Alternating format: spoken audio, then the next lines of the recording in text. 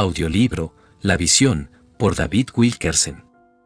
Antes de leer este libro, lea, por favor, las tres declaraciones siguientes. 1. Todo el mensaje de este libro ha de ser datado a partir de abril de 1973. Muchas de las predicciones de esta visión se han cumplido ya, algunas se verificarán en un futuro próximo y otras, en años venideros. Por favor, no lea este libro con la expectación de que todas las calamidades mencionadas ocurran de la noche a la mañana. Yo creo, y lo tengo por cierto, que la mayor parte de esta visión se cumplirá durante nuestra generación. 2. No pretendo, en lo que respecta a esta visión, endosar ninguna posición doctrinal concerniente a la gran tribulación. Cuando hablo de persecución de cristianos, no me estoy refiriendo a la tribulación, rehuso a que se me implique en controversia alguna sobre cuándo serán evacuados de esta tierra los cristianos al retorno de Cristo. Esta visión no es una declaración doctrinal. 3. Rechazo la idea de que esta visión sea un mensaje para traficar miedo. Algunos sugerirán que esta visión solo ayudará a provocar algunas de las calamidades descritas y que usted obtiene lo que predica. Discrepo totalmente. Esa lógica sugeriría que Noé provocó el diluvio advirtiendo que él mismo vendría. He compartido mi visión y nunca la volveré a defender con esta declaración. Su mensaje solo puede ser comprobado por el tiempo y los eventos. Dios será el juez y nada de lo que digan mis amigos o enemigos puede detenerme en mi determinación de advertir a los lectores que estas cosas son verdaderas. David Wilkerson. No fui rebelde a la visión celestial. Hechos 26, 19, y Jehová me respondió, y dijo, escribe la visión y declárala en tablas, para que corra el que leyere en ella. Aunque la visión tardará aún por un tiempo, más se apresura hacia el fin, y no mentirá, aunque tardaré, espéralo, porque sin duda vendrá, no tardará. Habacuc 2, 2, 3, y vi en éxtasis una visión. Pedro, en Hechos 11, 5. Pero, yo, estaba espantado a causa de la visión. Daniel 8, 27, He venido para hacerte saber lo que ha de venir a tu pueblo en los postreros días, porque la visión es para esos días. Daniel 10, 14. Introducción. He tenido solamente dos visiones en toda mi vida. La primera me vino en 1958, cuando una visión de Dios me llevó de una pequeña población de Pensilvania a la ciudad de Nueva York, a trabajar con las pandillas de adolescentes y con los adictos a las drogas. Aquella no fue una falsa visión. Ahora, transcurridos los años, su realidad queda demostrada por los centros juveniles esparcidos por todo el mundo. No solo se han convertido pandillas y adictos, sino que muchos de ellos están incluso predicando el Evangelio como ministros y misioneros. Una segunda visión vino a mí este verano 1973. Ha sido una visión de cinco trágicas calamidades que vienen sobre la tierra. No vi luces deslumbradoras, no escuché voces audibles ni oí hablar a un ángel. Mientras yo estaba orando tarde una noche, estas visiones de calamidades mundiales vinieron sobre mí con un impacto tal que no pude hacer otra cosa que seguir arrodillado, estupefacto, y captarlo todo. Al principio yo no quería creer lo que habla visto y oído. El mensaje de la visión era demasiado amedrentador, demasiado apocalíptico, demasiado aflictivo para mi mente materialista. Pero la visión volvió a mi noche tras noche. No podía librarme de ella. En lo profundo de mi corazón yo estoy convencido de que esta visión procede de Dios, que es verdadera y que llegará a verificarse. Con todo, esta visión me ha hecho efectuar un poco de investigación a conciencia muy real. He tenido miedo de que mucha gente no la creyera o que yo fuera tildado de ser cierto tipo de fanático. Les conté esta visión a algunos de mis amigos y asociados más íntimos y me previnieron contra la publicación de la misma. ¿Quién quiere escuchar un mensaje de confusión económica en una época de gran abundancia?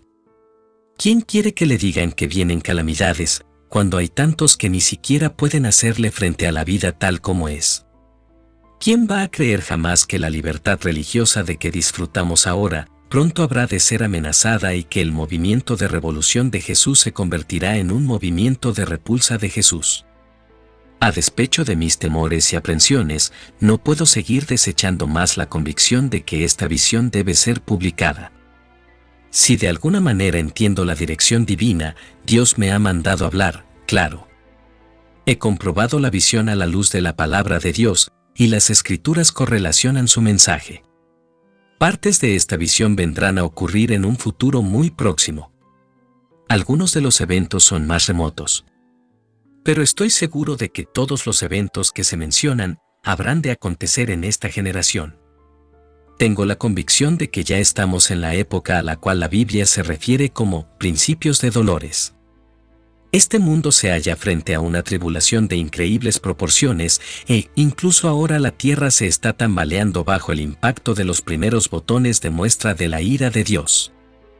Parece que casi todo el mundo está preguntándose qué le está sucediendo a la naturaleza, a las normas éticas y a la sociedad.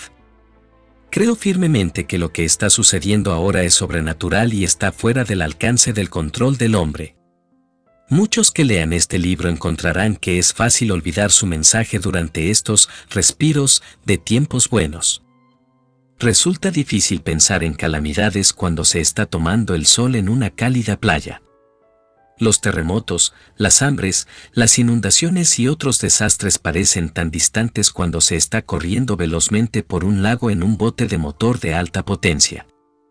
Es difícil imaginarse tiempos rigurosos y trágicos cuando el dinero está corriendo, cuando se dan por supuestas las libertades y cuando las comedias televisadas hacen que la vida parezca tan libre y fácil. Sin embargo, Dios advierte que vendrá un desastre repentino cuando todos los hombres estén pregonando paz y seguridad. El diluvio de los días de Noé vino cuando los hombres estaban comiendo, bebiendo, casándose, divorciándose y dándose buena vida. Las multitudes, que se burlaban de la increíble visión de aquel profeta, fueron enfrentadas repentinamente con la furia de la ira de Dios. Antes de que usted descarte esta visión como divagaciones de un fanático, oiga esto. Suponga que es verdad. ¿Y si yo realmente la recibí de Dios? Esta visión podría ser una verdadera advertencia, procedente de Dios a través de un ser humano, a un mundo decidioso, dormitado. Recuerde, asimismo, que la Biblia dice, en los postreros días, vuestros jóvenes verán visiones. Así pues, amigo, es hora de estar preparado. Se acaba el tiempo para aprestarse. Estamos a deshora y el tiempo se está cortando. Lea este libro con el corazón abierto, luego entre en el último capítulo para encontrar la solución. Confusión económica. Se avecina una quiebra. Uno nos hallamos frente a una inminente confusión económica de alcance mundial. En mi visión, este ha sido el detalle que vi con mayor claridad. Mucha gente de oración comparte al presente esta mismísima visión. No solo el dólar americano está encaminado a tener grandes dificultades, sino todas las demás monedas corrientes en el mundo entero. Veo una confusión económica total que batirá a Europa primero y luego afectará al Japón, los Estados Unidos, el Canadá y, poco después, a todas las demás naciones. Realmente no es una depresión lo que veo venir, sino una recesión o retracción económica temporal de tal magnitud, que habrá de afectar el estilo de vida de casi todo trabajador asalariado de América y de todo el mundo. Países que al presente controlan enormes cantidades de divisas occidentales se van a ver en dificultades muy grandes también. Los países árabes quedarán de modo particular perjudicados. Nos esperan, no cabe la menor duda, años de carestía llenos de confusión monetaria y de desesperación. ¿Cuándo será? No está claro, pero no está muy lejos. Los más grandes economistas del mundo entero no aceptarán a explicar la confusión, y se desarrollará una crisis internacional de miedo. Una falsa bonanza económica precederá a la recesión, pero será de breve duración. Algunos años buenos para prepararse. 2. No obstante todas las señales de peligro de un inminente desastre económico que nos rodean, los próximos años, unos pocos, a contar desde 1973, se contarán entre los más prósperos de la historia de la humanidad. Serán años de abundancia y de prosperidad. A pesar de las normas de restricción de créditos, la gente seguirá gastando abiertamente. Las ventas continuarán rompiendo récords y la gente gastará más que nunca en la historia moderna. Las obligaciones de crédito llegarán a ser casi incontrolables. Veo, muy claramente, solo unos pocos años de tremenda afluencia y continua prosperidad económica. Los presupuestos de las iglesias se incrementarán, los salarios aumentarán, las contribuciones para las obras misioneras aumentarán también. La inflación, los costos y los salarios subirán en espiral, cada vez más alto.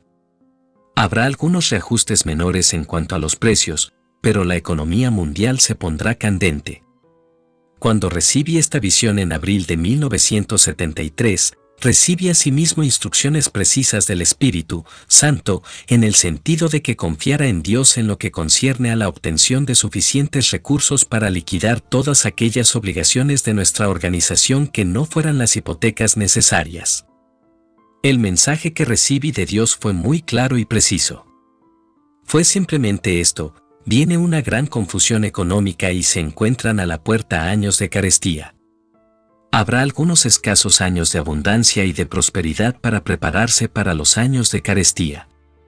Trabaja y ora para que liquides todas las deudas y prepárate para efectuar drásticas reducciones en el presupuesto. El dinero no fluirá como antes, y si quedas libre de obligaciones, podrás mantener tus programas aún durante los años difíciles. No te alarmes, no temas, simplemente prepárate para ese tiempo y aguárdalo. Quiebras en las principales corporaciones.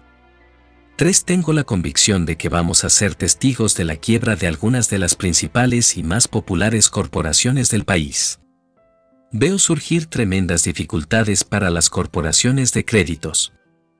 Habrá muchas personas que se verán imposibilitadas de liquidar sus obligaciones importantes a las principales compañías de tarjetas de crédito, llevando con ello al borde del caos miles de pequeños negocios se verán también forzados a declararse en quiebra. Tres de las principales denominaciones religiosas, y posiblemente cuatro, se verán forzadas a operar con una organización mínima, debido a la falta de fondos. No pocas iglesias van a sufrir bancarrota y varias sociedades y organizaciones eclesiásticas misioneras independientes van a tener que retraerse. Todos los ministerios de radio y televisión, salvo unos pocos, tendrán que ser abandonados. La restricción de créditos desencadenará una ola de incertidumbre y de temor. Aquellos que tengan dinero lo guardarán como reserva. El gobierno de los Estados Unidos, sobre reaccionaria, al desarrollarse la confusión económica. Veo una racha de decisiones tomadas casi al borde del pánico por distintas agencias gubernamentales, pero estos esfuerzos hechos precipitadamente para apuntalar la economía serán contraproducentes. El presidente de los Estados Unidos efectuará una, y posiblemente dos, comparecencias ante la radio y la TV nacionales para tranquilizar a la nación, reafirmando que todo anda bien y que la mejor época de la economía del país está a la puerta. Pero no dará resultado. La gente desconfiará de estas afirmaciones y sus temores llevarán a una revolución en las urnas electorales. La industria del automóvil quedará gravemente perjudicada. Los fabricantes de vehículos de recreo van a recibir un golpe muy duro. Las existencias de accesorios se amontonarán y las ventas disminuirán drásticamente. Casi todos los índices económicos tendrán un aspecto sombrío. Al principio esto será irregular, pero eventualmente afectará a casi toda la industria. Un éxodo en tropel hacia el campo. Habrá una súbita precipitación en tropel para comprar granjas, ranchos y casas en el campo. Miles de personas intentarán huir de las ciudades en la esperanza de que un retorno a la tierra, a la naturaleza, haya de proporcionarles seguridad. Habrá un impulso creciente de largarse de todo esto, y la gente que alimenta sueños secretos de producir sus propios alimentos y feriar su propio ganado, y de llegar a autoabastecerse, invertirá mucho dinero en terrenos y en tierras de labor en las zonas rurales. El precio de los terrenos en las zonas rurales seguirá subiendo vertiginosamente. El valor de las tierras de labor comprendidas dentro de un radio de 160 kilómetros, alrededor de la mayor parte de las principales ciudades, llegará hasta las nubes, volviéndose inasequible para todos, menos para los sindicatos. Los sindicatos habrán de afrontar un dilema. Los sindicatos habrán de encarar nuevas presiones encaminadas a impedir que vayan a las huelgas. Los trabajadores ya no podrán tener recursos para quedarse fuera del trabajo ni siquiera por una semana. El gobierno adoptará una actitud dura contra los huelguistas y los miembros de los sindicatos en huelga ya no podrán obtener cupones para alimentos ni otros beneficios que antes se les concedía. La inflación forzará el desarrollo de una nueva crisis entre el trabajo y la administración, y las huelgas que lleven a cabo los miembros de los sindicatos conducirán, en algunas zonas, a una completa interrupción del trabajo en las plantas y una total pérdida del empleo. Los líderes laborales serán afectados también por esta ola de confusión económica. Muchos de ellos se quedarán perplejos y no sabrán qué acción deberían de tomar. Habrán de afrontar una situación casi imposible porque no podrán sostener financieramente una huelga y no obstante, al mismo tiempo, no podrán aguantar la presión de no ir a la huelga. Las huelgas prolongadas podrían paralizar la industria y aumentar la creciente confusión económica. Los detalles no están claros para mí, pero veo que nos esperan terribles problemas sindicales. La paz laboral es solo un sueño y no afrontamos otra cosa, sino verdaderos problemas. Podemos muy pronto sufrir las más devastadoras huelgas de todos los tiempos. Aquellos que no se preparan van a ser perjudicados. La gente que gasta descuidadamente y compra cosas materiales innecesarias será la que más sufrirá los especuladores encaran tiempos difíciles que están a la puerta y un buen número de grandes planificadores van a ser totalmente suprimidos. El mayor auge de todos los tiempos en la construcción aún pertenece al futuro y la Biblia predice que vendrá. Pero antes de eso, muy pronto, la industria de la construcción va a afrontar muchos reveses. Las fluctuaciones de la vivienda se nivelarán viene una terrible apretura sobre toda la industria de la construcción. Los ministros que levantan edificios costosos en el nombre de Dios, sin haber recibido de él un claro mandato, quedarán seriamente perjudicados. Aquellos que emprenden viajes para satisfacer su propio yo, que se comprometen en enormes proyectos que implican grandes cantidades de dinero, y que no han andado según la perfecta voluntad de Dios, confrontarán un desastre financiero. Si un hombre tiene un claro y preciso mandato de Dios para edificar o seguir adelante, debe proceder de conformidad. Pero que esté absolutamente seguro de que está procediendo según la clara y positiva dirección de Dios. De lo contrario, el proyecto no sobrevivirá y él saldrá en bancarrota. No es el momento de meterse en deudas. Es el momento de apercibirse el momento de librarse y salir de debajo de importantes gravámenes financieros, cuando percibí por primera vez esta visión, arguí conmigo mismo en el sentido de que yo no me atrevía a impedir la iniciativa y la visión de personas que quieren hacer grandes obras para Dios y que, en el curso de su realización, tienen que invertir enormes sumas de dinero. Yo he conocido la satisfacción de levantar instituciones para la gloria de Dios. Siempre he predicado la fe y griega la acción positiva, y nunca me atrevería a aconsejar a un hombre o una mujer de Dios que se retraigan o que difieran actuar cuando Dios les ha dado claramente la dirección de proceder. Pero esta visión es tan evidente para mí, que tengo que hablar claro. Percibo como una obligación divina de prevenir a los ministros y a las organizaciones de iglesias a que echen una larga y severa mirada a todos los programas y proyectos de expansión que requieran grandes sumas de dinero. Hay algunos planes de construcción que deben ser postergados o abandonados.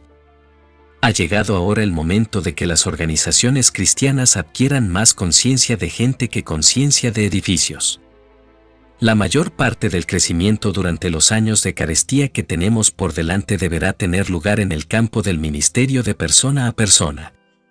Sin duda alguna, muchas organizaciones religiosas habrán de sobrevivir a los años de carestía, pagando solo el interés de sus enormes obligaciones. Esto traerá como resultado una constante controversia en cuanto a recolectar dinero únicamente para hacer frente a los presupuestos de mantenimiento, lo que hará, a su vez, que sufran los proyectos misioneros. Ni siquiera el oro proporcionará seguridad. Los precios del oro están aumentando vertiginosamente, pero aquellos que están invirtiendo en este artículo en espera de hallar seguridad, y se exponen a una trágica sorpresa. El precio del oro va a subir hasta alcanzar niveles astronómicos, pero no se sostendrá por mucho tiempo. La plata llegará a ser también un metal muy precioso y su precio aumentará de desfrenadamente. Pero ni la plata ni el oro ofrecerán verdadera seguridad. El valor fluctuante e incierto del oro y de la plata será parte del cuadro total de la confusión económica que hace presa del mundo. Créalo o no, ni siquiera el oro mantendrá su valor aquellos que amontonan oro van a salir perjudicados de mala manera. Esta es una de las más significativas predicciones de este libro. Un nuevo sistema monetario mundial. Aumentará la demanda de reorganizar todos los sistemas monetarios del mundo en un sistema uniforme. Y aun cuando parezca que el dólar está ganando fuerza justamente antes de que comience la recesión mayor, se desarrollará una nueva crisis que sacudirá el mundo financiero entero. Pasarán años antes de que quede restablecida la fe en el dólar americano. Yo creo que resurgirá un imperio romano, el cual llegará a ser eventualmente la base de poder para un superdirigente mundial que se levantará para restaurar el orden económico. Sin duda alguna este instituirá un sistema mundial de tarjetas de crédito ambulantes se implantarán números invisibles en la frente y el antebrazo, y solo los instrumentos exploradores, fotográficos podrán detectar esos números. Los números podrían ser asignados en tres grupos de seis dígitos cada uno. Esta marca sería requerida de todos y nadie podría comprar ni vender sin tener este número tatuado invisiblemente se desarrollará un determinado tipo de sistema mundial de créditos y los distintos países podrán utilizar libretas de crédito. Si bien el logro de un sistema monetario universal puede ser todavía una cosa muy lejana del futuro, pronto se organizará un sistema mundial de créditos entre los países, sentándose así la estructura para el sistema mundial, monetario y comercial del futuro estemos preparados a oír hablar de acuerdos comerciales mundiales supervisados por un comité regulador internacional. Se desarrollarán pautas estrictas para el comercio internacional e intereses de gran poder controlarán estrechamente el mercado mundial. Expresándolo en forma sencilla, pronto presenciaremos el desarrollo de una política comercial mundial, supervisada por un supersecretario investido de poderes sin precedente por todos los países involucrados en el comercio internacional. Suicidió por dosis excesivas. Los reveses económicos y la confusión tomarán desapercibidos a muchos en cuanto a las consecuencias. Entonces, vendrán los suicidios. No será una repetición de aquellas escenas que fueron tan familiares durante la Gran Depresión, cuando los hombres de negocio se suicidaban saltando desde las ventanas. Tampoco se llevarán un arma a la cabeza para tirar del gatillo. El nuevo método será el suicidio mediante dosis excesivas de píldoras para dormir o de otros sedativos químicos. Esta tendencia se está desarrollando ya, y empeorará. Algunas de las figuras más conocidas en el mundo de los negocios van a cometer suicidio mediante la ingestión de dosis excesivas de narcóticos. Debido a que muchos hombres de negocios acaudalados tienen médicos privados, el común de las gentes no quedará impuesta de la forma en que irán ocurriendo estas muertes accidentales. En muchos casos la causa de la muerte no llegará a ser de conocimiento general. Sin embargo, el suicidio por medio de dosis excesivas llegará a ser tan generalizado que será imposible encubrirlo más. Una reacción contra los ambientalistas y ecólogos. La confusión económica que viene llevará a una reacción contra las restricciones impuestas por los especialistas en asuntos relativos al medio ambiente sobre la colectividad de los negocios. Los ambientalistas han sido bien acogidos y admirados mientras abordaban generalidades. Pero cuando comiencen a afectar las carteras de los hombres y mujeres de este país, caerán en descrédito. Veo surgir una tremenda reacción contra los ecólogos y ambientalistas, con expertos que peroran contra muchos de los hallazgos de dichos especialistas de esas agencias. En charlas televisadas, en artículos de revistas y en otras discusiones públicas se desarrollará una corriente de zapa contra aquellos que previenen acerca de los peligros de la contaminación y los que propugnan el control ambiental llegará a ponerse en boga el desmentir los hallazgos de esos comités y echar peroratas contra los programas propuestos por los ambientalistas federales, estaduales y locales. Grupos ambientalistas, como el Club Sierra y otros, van a ser blanco de severas críticas. Serán acusados de obstaculizar el desarrollo de nuestras riquezas y serán inculpados de la creciente confusión económica, estos grupos se convertirán en cabezas de turco a los que responsabilizarán por una crisis de energía, por las escaseces de carne y de alimentos y por la pérdida de empleos. Créalo o no, los ambientalistas y ecólogos van a ser puestos en tela de juicio y serán repudiados y, en su mayor parte, rechazados en los días por venir ya están actuando fuerzas poderosas para incitar la opinión pública contra las propuestas de largo alcance de los nuevos ambientalistas. Confusión para los predicadores del pensamiento positivo. Aquellos que predican que todo buen éxito es el resultado final del pensamiento positivo, van a descubrir que la moneda tiene otra cara también. Grandes pérdidas, confusión y reveses harán trizas los procesos del pensamiento de mucha gente bien intencionada, que cree falsamente que sus éxitos y su bienestar económico son el resultado de su propio pensamiento positivo. Jesucristo mismo fue un defensor del pensamiento recto. Dios declara que Él no nos ha dado espíritu de cobardía, sino de amor, de poder y de dominio propio. Pero muchos hombres buenos se han vuelto adoradores del poder de la mente. Aquellos que predican el pensamiento positivo en armonía con los conceptos de las enseñanzas bíblicas podrán ofrecer a los hombres verdades que lo habrán de sostener a lo largo de las crisis venideras. Aquellos que han tenido en menos la soberanía de Dios y han suplantado actitudes mentales en lugar de corazones reformados, quedarán desenmascarados como falsos maestros. El pensamiento positivo, sin una vida piadosa, no ofrece esperanza alguna en tiempos de crisis mundial o personal.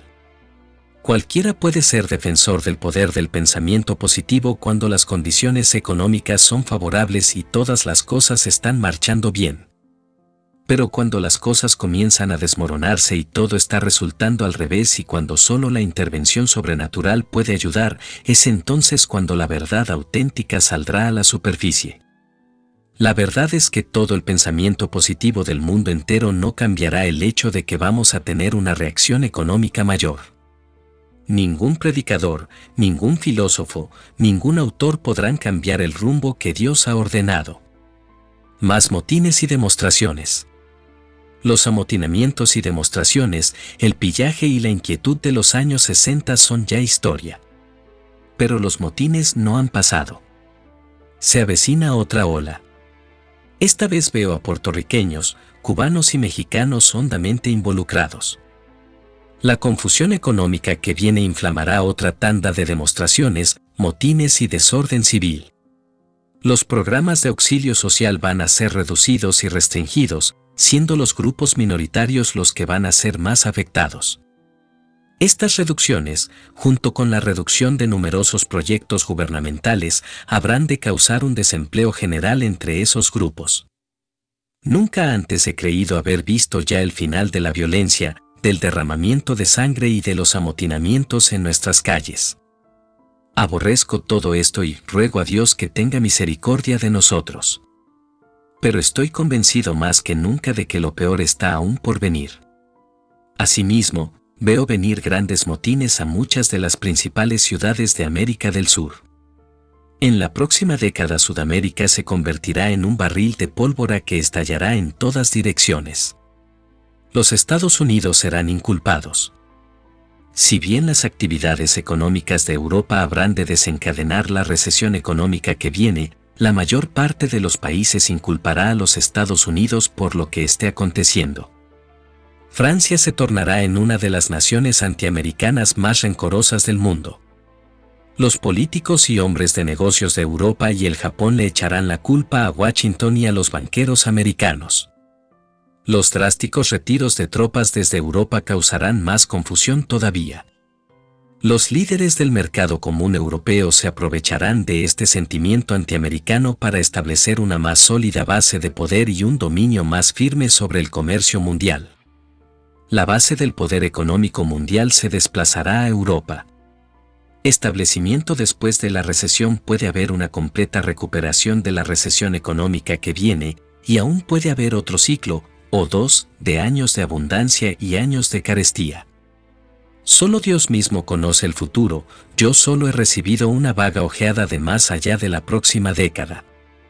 Me parece ver el cuadro de una recuperación parcial y casi completa a partir de la recesión económica que viene, pero la economía mundial continuará siendo confusa hasta el tiempo del anticristo.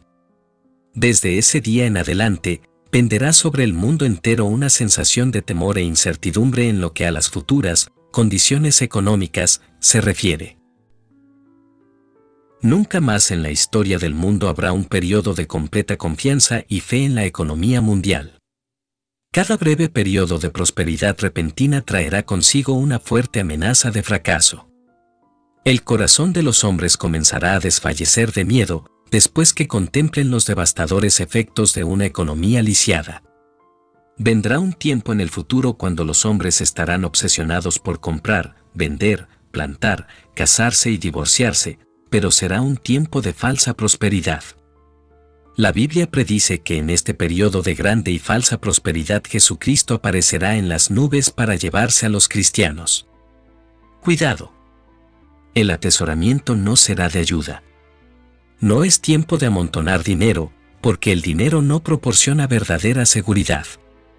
Puede darse incluso que tengamos que afrontar una época en que ni siquiera los ahorros garantizados por el gobierno serán pagados. La única y verdadera seguridad está en la tierra, el dinero acumulado desaparecerá como escapa la arena de un saco lleno de agujeros. Esta es también una época en que el cristiano debe orar respecto de su ofrenda para la iglesia y para las causas misioneras. Cada centavo que se da para la obra de Dios debe ser dado con un propósito dar indistintamente, solo para aliviar la conciencia o para descargar el diezmo de Dios en la iglesia, no será ya más aceptable al Señor. Aquellos que obedecen a la palabra de Dios y dan alegremente durante los años de abundancia, nunca habrán de mendigar el pan durante los años de carestía. Aquellos que ven venir los tiempos difíciles y se preparan, son sabios. Tengo algunos consejos para aquellos que creen el mensaje de este capítulo tengo la certeza de que estos consejos vienen del Señor, no compre nada a menos que sea necesario. Evite meterse en deudas en todo, si es posible. Venda o negocie todos los valores cuestionables que tenga. No importa qué sacrificio implique, liquide toda la deuda que le sea posible y disminuya sus necesidades de gastos en efectivo a un mínimo. Reajuste su presupuesto y reduzca su personal al mínimo. Evite que se le amontonen las cuentas de tarjetas de crédito. Las deudas de tarjetas de crédito son extremadamente peligrosas de ahora en adelante. No se deje dominar por el pánico, simplemente sea muy precavido. Consígase un carro bueno y digno de confianza y apéguese a él. No se anticipe a cambiarlo durante un largo rato. Aférrese a él y sobre todas las cosas, no trate de engañar a Dios conserve sus cuentas con el cielo bien balanceadas. Su seguridad futura depende de ello. De lo más generosamente que le sea posible para las misiones y para el sostenimiento de la legítima obra de la Iglesia. De, y le será restituido.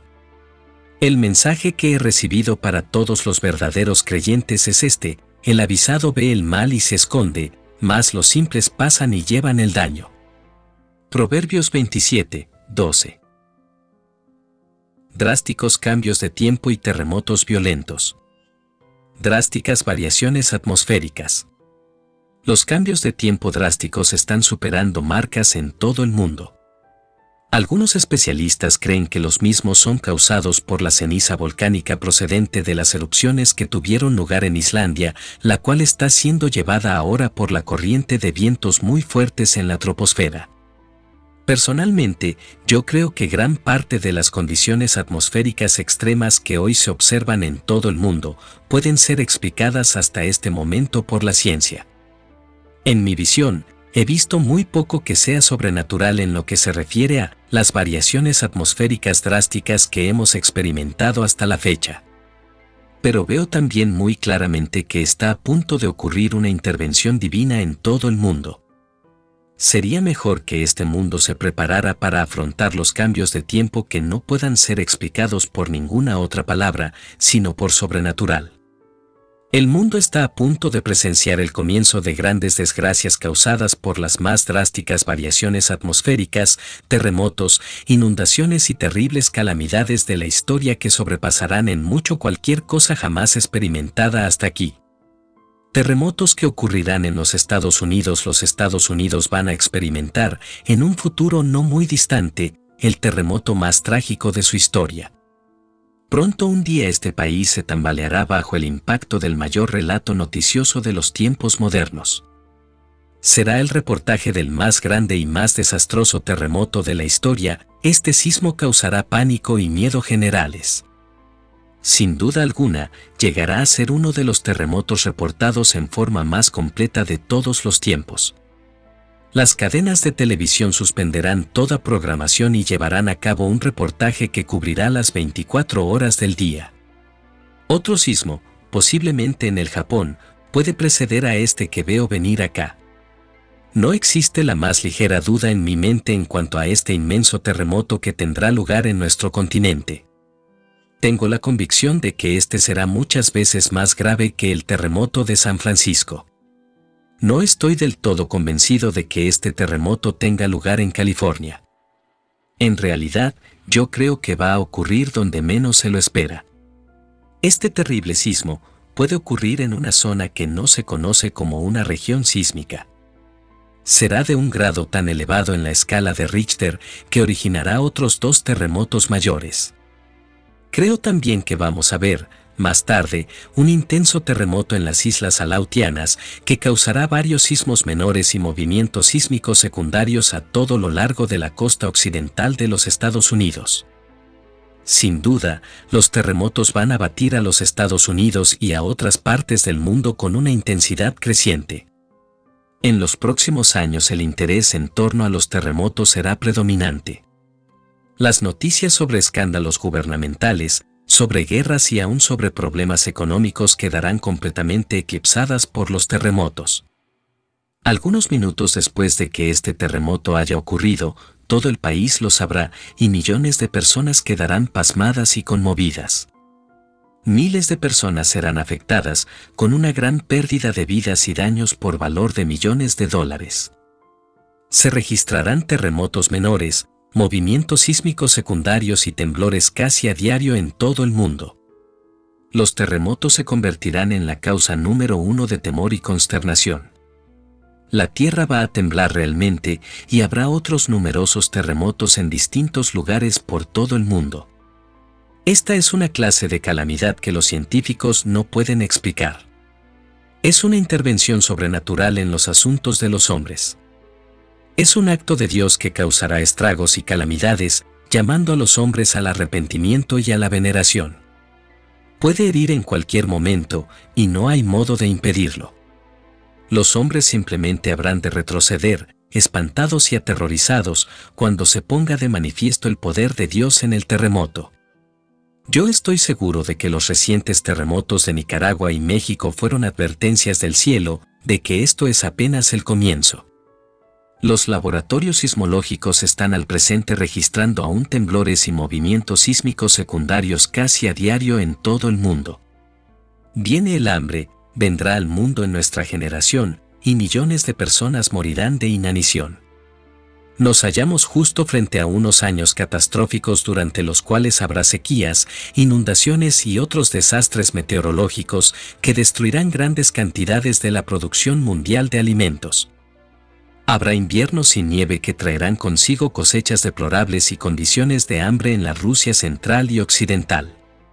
La India, Pakistán, todo el sureste de Asia y África recibirán un golpe especialmente duro tanto la sequía de 40 meses en África como el prolongado periodo de seca en el Brasil terminarán temporalmente. Habrá un ligero alivio, pero las condiciones empeorarán. En África, millones de seres humanos habrán de afrontar la inanición. Las reservas de alimentos americanas mermarán parcialmente debido a la sequía y las inundaciones que tendrán lugar en este país. Las reservas de trigo, de arroz y de soya quedarán completamente agotadas. No se logrará satisfacer la demanda de maíz, arroz y trigo. El mundo afrontará, en nuestra propia generación, la amedrentadora perspectiva de una población mundial que crece mucho más rápido que la provisión de alimentos. Ya estamos demasiado atrás en esto para salir del atraso y ponernos a la par. El mundo ha afrontado hambres y sequías con anterioridad, pero esta vez es muy diferente.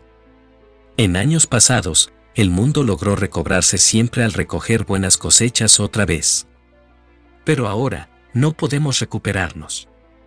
Ya hemos tenido demasiados años malos, y lo peor aún está por venir. La situación solo empeorará. Y debido al exceso de población, nunca nos pondremos al día. Esta es, no cabe la menor duda, el hambre universal de los últimos tiempos predicha por la santa palabra de Dios en el libro de Joel. Ay del día, porque cercano está el día de Jehová, y vendrá como destrucción por el Todopoderoso. No fue arrebatado el alimento de delante de nuestros ojos, la alegría y el placer de la casa de nuestro Dios. El grano se pudrió debajo de los terrones, los graneros fueron asolados, los alfolíes destruidos, porque se secó el trigo. ¿Cómo gimieron las bestias? Cuán turbados anduvieron los atos de los bueyes, porque no tuvieron pastos. También fueron asolados los rebaños de las ovejas. A ti, oh Jehová, clamaré, porque fuego consumió los pastos del desierto, y llama abrazó todos los árboles del campo. Las bestias del campo bramarán también a ti, porque se secaron los arroyos de las aguas, y fuego consumió las praderas del desierto. Joel 1, 15, 20. Principios de dolores. Ocurrirán inundaciones, huracanes, tornados y granizadas con mayor frecuencia. Más de una tercera parte de los Estados Unidos será declarada zona de desastre dentro de unos pocos años los hombres se dirán que la naturaleza está fuera de control. Extraños acontecimientos que tendrán lugar en la naturaleza desconcertarán a los científicos. Erupciones en la Tierra, brumas de sangre y brumas lunares, señales extrañas en el cielo tales como tormentas cósmicas, estos y otros eventos nunca vistos antes causarán la admiración de muchos. La bruma suspendida en el cosmos volverá roja la luna y causará periodos de oscuridad sobre la Tierra, casi como si el Sol se negara a brillar. La naturaleza. Se desencadenará la naturaleza desatará su furia con intensidad creciente durante la próxima década. Habrá cortos periodos de alivio, pero casi todos los días la humanidad presenciará la furia de la naturaleza en algún lugar de la Tierra. Estos cambios, que habrán de superar récords, estarán por encima y más allá de todo lo conocido en el pasado. Habrá inundaciones, huracanes y tornados que destruirán cosechas, animales y mucha fauna silvestre, haciendo que los precios aumenten más todavía y haciendo que algunos especialistas en la materia sugieran que la naturaleza está perdiendo su equilibrio. El tiempo se tornará gradualmente más difícil de pronosticar. Aparecerán repentinas tormentas sin previa advertencia. Olas de frío que batirán récords se afirmarán sobre las regiones más meridionales y zonas del norte experimentarán olas de calor que superarán marcas. Habrá periodos de alivio en los que los hombres dirán, las cosas permanecen así como desde la misma fundación de la Tierra. No hay nada de insólito en lo que está ocurriendo, así que vivamos descansadamente. La gente juiciosa tendrá dentro de sí un conocimiento innato de que Dios está detrás de estos extraños eventos y está desatando la furia de la naturaleza para forzar a los hombres a una disposición de ánimo en la cual se interesen por los valores eternos. Estas violentas reacciones de la naturaleza estarán claramente concertadas por Dios para prevenir a la humanidad acerca de los días de ira y de juicio que vienen. Es casi como si todo el cielo estuviera exclamando, oh tierra, presta atención a su llamamiento. Él sostiene los pilares de la tierra en sus manos. Sacudirá la tierra hasta que su voz sea escuchada. Él domina como rey de la inundación y señor de los vientos y las lluvias, el mundo suspirará por un retorno a las condiciones normales, pero el tiempo viene cuando ya no habrá más retorno. Dios es movido como uno que se despierta del sueño, y su enojo está inflamado contra los hombres contumaces y pecadores. Él fundirá eventualmente los mismos elementos con un calor ardiente, pero hasta esa última hora en que esta tierra pasará, Dios derramará sus copas de ira. El Dios de la naturaleza hará uso de sus plagas para revelar su poder, en una advertencia a la humanidad a que evite su ira. Breves periodos de alivio. Muchos hombres aparentarán estar arrepentidos durante los periodos de violentos castigos infligidos por la naturaleza. Sin embargo, los breves periodos de alivio harán parecer que la naturaleza se ha sosegado, y los hombres serán confortados por un ambiente cálido, la luz del sol y un tiempo estacional normal. Pero pronto seguirá más violencia, y mucho peor. Muchos pilotos de líneas aéreas reportarán las peores condiciones de vuelo en la historia de la aviación vendrán los más intensos huracanes. Muchas partes del mundo confrontarán los más violentos inviernos de todos los tiempos. Europa se halla frente a las peores embestidas invernales que haya tenido jamás. Drásticos cambios de tiempo. Agotamiento de los fondos de socorro. Los fondos de socorro y para casos de desastres llegarán a estar casi agotados. Las compañías de seguros afrontarán enormes pérdidas. Muchos granjeros arrostrarán el desastre financiero. Solamente las damnificaciones causadas por los terremotos gastarán y agotarán casi todos los fondos para desastres. Y hay un límite para lo que los gobiernos nacionales pueden proveer. No se dispone de fondos ilimitados, y los habitantes de cada país habrán de aprender pronto que no quedará nadie a quien volverse, sino solo a Dios los americanos quedarán horrorizados al enterarse de que los fondos para desastres se han agotado. Vendrá un rudo despertar en este sentido.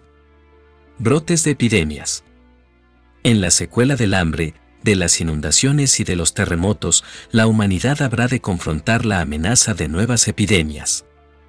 Habrá una epidemia mayor de cólera que pasará por distintos países subdesarrollados sembrando la muerte la India y el Pakistán afrontarán la amenaza de ver a incontables millares de personas muriendo por las epidemias y la inanición. La desnutrición, la inanición y todas las epidemias que las acompañan serán un problema que habrán de afrontar varios otros países también. Los suministros de alimentos y de socorro no serán adecuados para combatir estos abrumadores problemas, y muchos morirán sin recibir ayuda, los suministros médicos solo alcanzarán a una pequeña proporción de los que tengan necesidades críticas. Esta demostrará ser la mayor guerra del género humano. Será una guerra de la naturaleza contra el hombre. Y aun cuando Dios promete no abandonar nunca a los hombres, dará la impresión de que así lo ha hecho. Granizadas. Las drásticas variaciones atmosféricas que ocurrirán en la próxima década irán acompañadas de violentas granizadas de proporciones increíbles. Grandes trozos de hielo caerán del cielo y causarán mucho daño. Estas tormentas no solo destruirán cosechas y destrozarán automóviles, sino que causarán también la muerte de muchas personas. Observe los informes de intensas tormentas de hielo y granizadas en el futuro. Asimismo, prepárese para los inviernos más severos de todos los tiempos y para las nevadas que batirán marcas en los Estados Unidos y el Canadá. Con relación a los últimos tres años, los registros muestran que las granizadas han empeorado extremadamente, cayendo pedriscos más y más grandes. El tamaño de los pedriscos que habrán de caer llegará a ser casi increíble. Señales extrañas en los cielos. La Biblia predice que en los últimos días aparecerán señales insólitas en los cielos, sangre, fuego, vapores de humo. Yo no sé el significado cabal de lo que el profeta Joel percibió en su visión, pero sí sé que lo que yo he visto refuerza cada una de aquellas predicciones. Aparecerán señales extrañas y desconcertantes en los cielos y en las estrellas.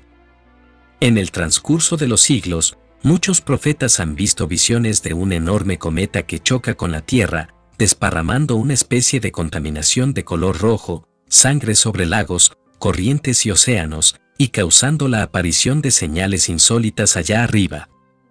No he visto ninguna nueva revelación y tampoco puedo hallar ninguna escritura que corrobore la visión de planetas que entran en colisión.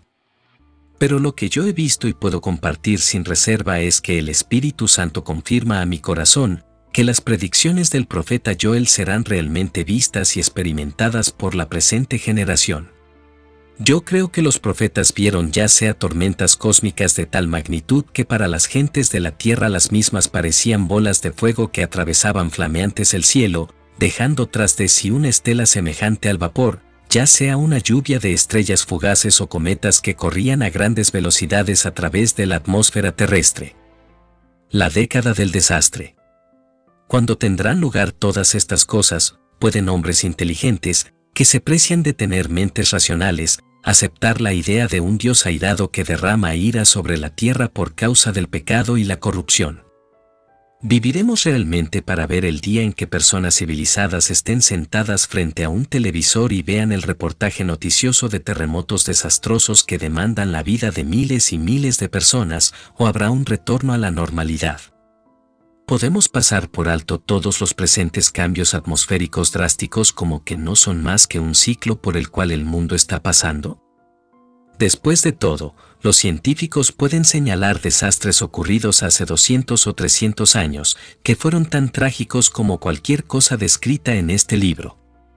Yo creo que hemos pasado ya el punto sin retorno.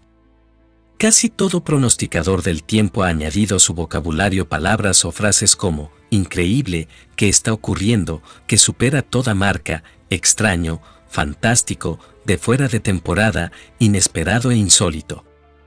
Donde quiera los hombres honrados tienen una creciente sensación de que alguien, en alguna parte, está realizando experimentos con la naturaleza.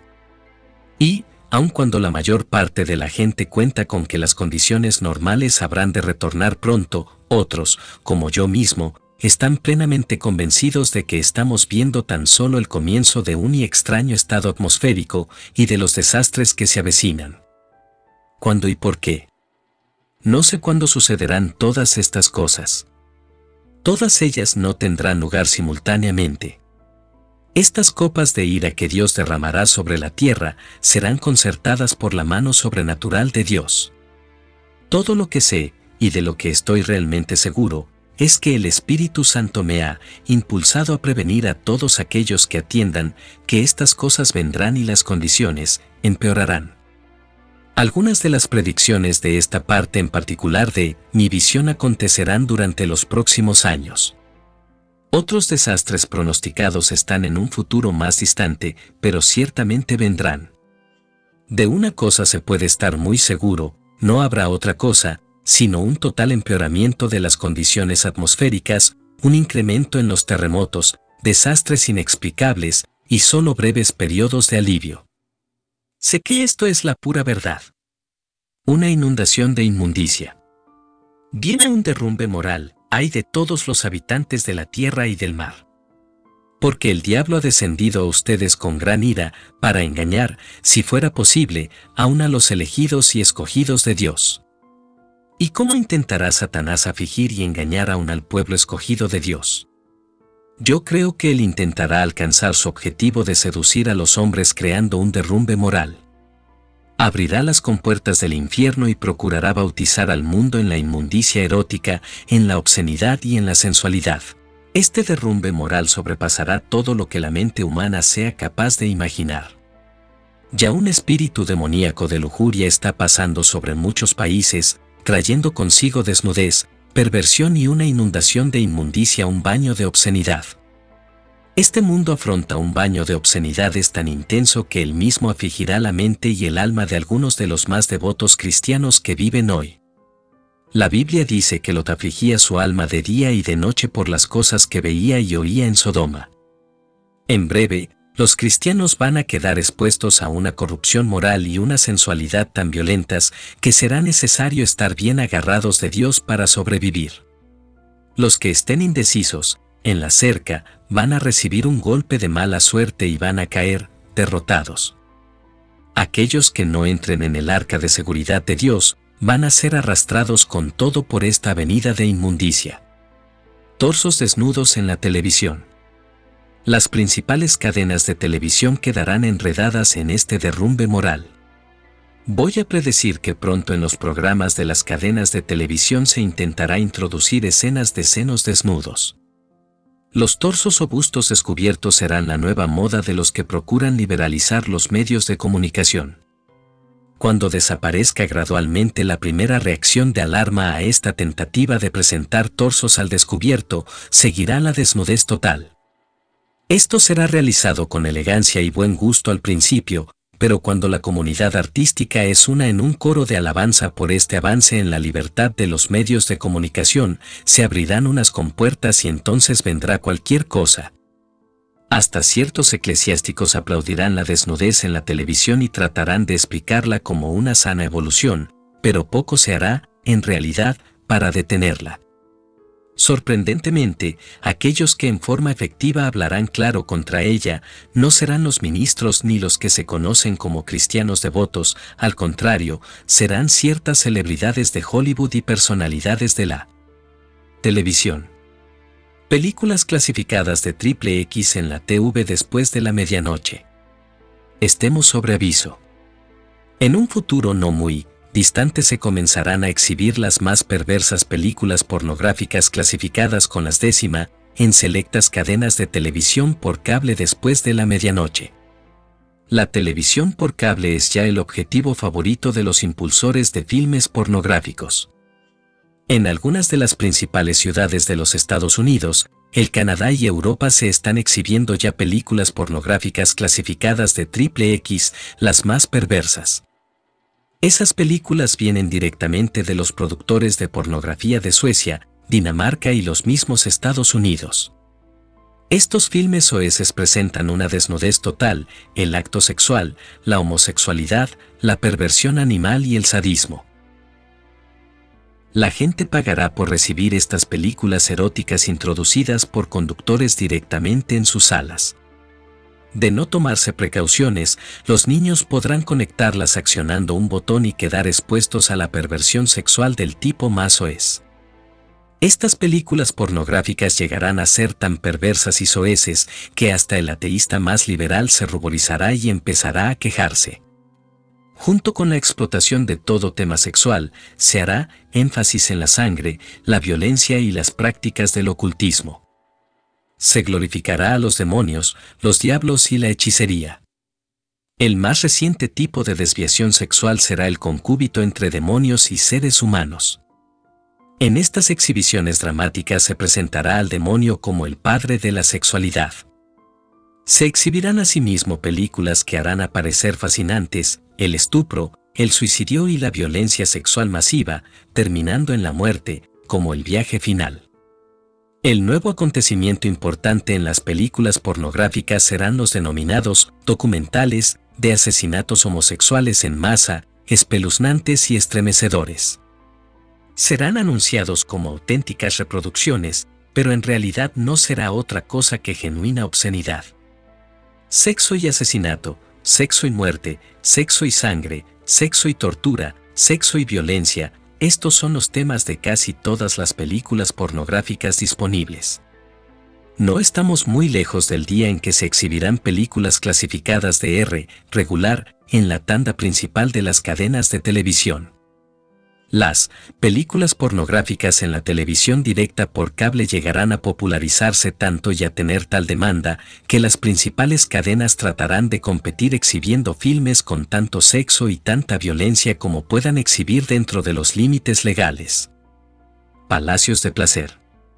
Un creciente número de moteles se anunciarán como palacios de placer.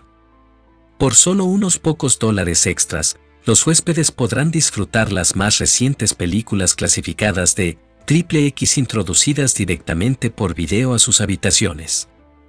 Ya no será necesario que la gente decente tenga que entrar en un sucio teatro de los barrios bajos para ver las últimas inmundas películas pornográficas. En vez de eso, irán a un bello motel y disfrutarán de una exhibición privada para ellos solos.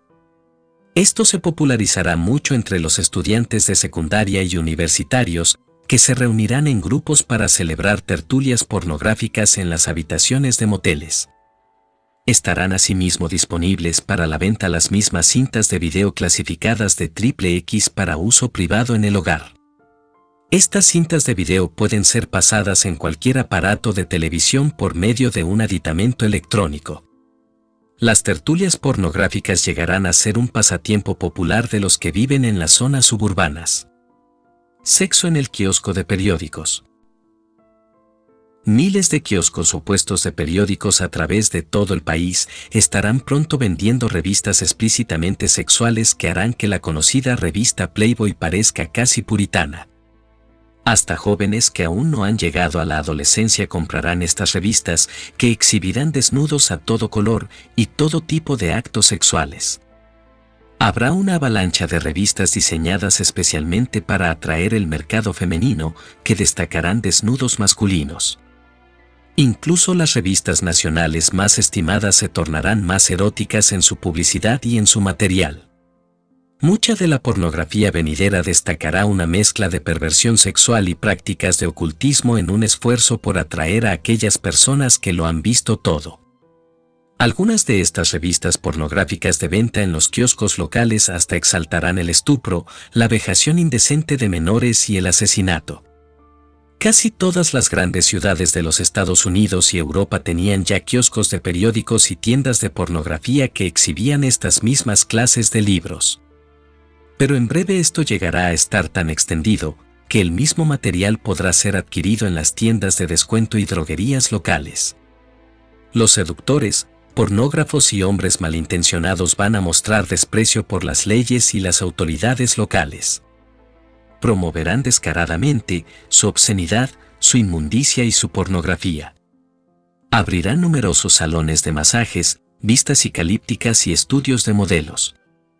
Si se les obliga a cerrar temporalmente, volverán una y otra vez, con obscenidades aún peores que las anteriores. Educación sexual para participar en el acto. En las clases de educación sexual de los últimos cursos de la escuela secundaria y en las de la escuela superior se presentará el acto sexual en filmes. Los diagramas que se están usando ahora serán animados. Voy a predecir que no está muy lejano el tiempo cuando los estudiantes de los últimos cursos de secundaria y los universitarios serán expuestos a filmes de educación sexual que presentarán el preludio del acto sexual y el acto en sí. Estos filmes serán anunciados como que han sido preparados con muy buen gusto por profesionales. Se les dirá a los estudiantes que el amor homosexual es normal y que los actos sexuales entre no casados son de desear si cada cual tiene en alta estima al otro. Esté al tanto y verá cómo el sexo en dibujos animados llegará a ser la próxima innovación en la educación sexual escolar. Muy moderados e inocentes al principio, estos filmes educacionales del tipo de dibujos animados se tornarán progresivamente más explícitos y eróticos. Un revés temporal para la obscenidad. Justamente antes de este derrumbe moral surgirá un efímero movimiento contra la obscenidad y la pornografía, iniciado por elementos conservadores. Tendrá casi la apariencia de ser un movimiento nacional y ganará ímpetu al unirse los tribunales, grupos cívicos, iglesias y líderes del gobierno en un esfuerzo para detener este derrumbe moral. Las Cortes promulgarán algunas leyes que parecerán favorables a las fuerzas que combatan la obscenidad. Habrá muchas pláticas en torno al saneamiento de la televisión y de los kioscos de periódicos y revistas.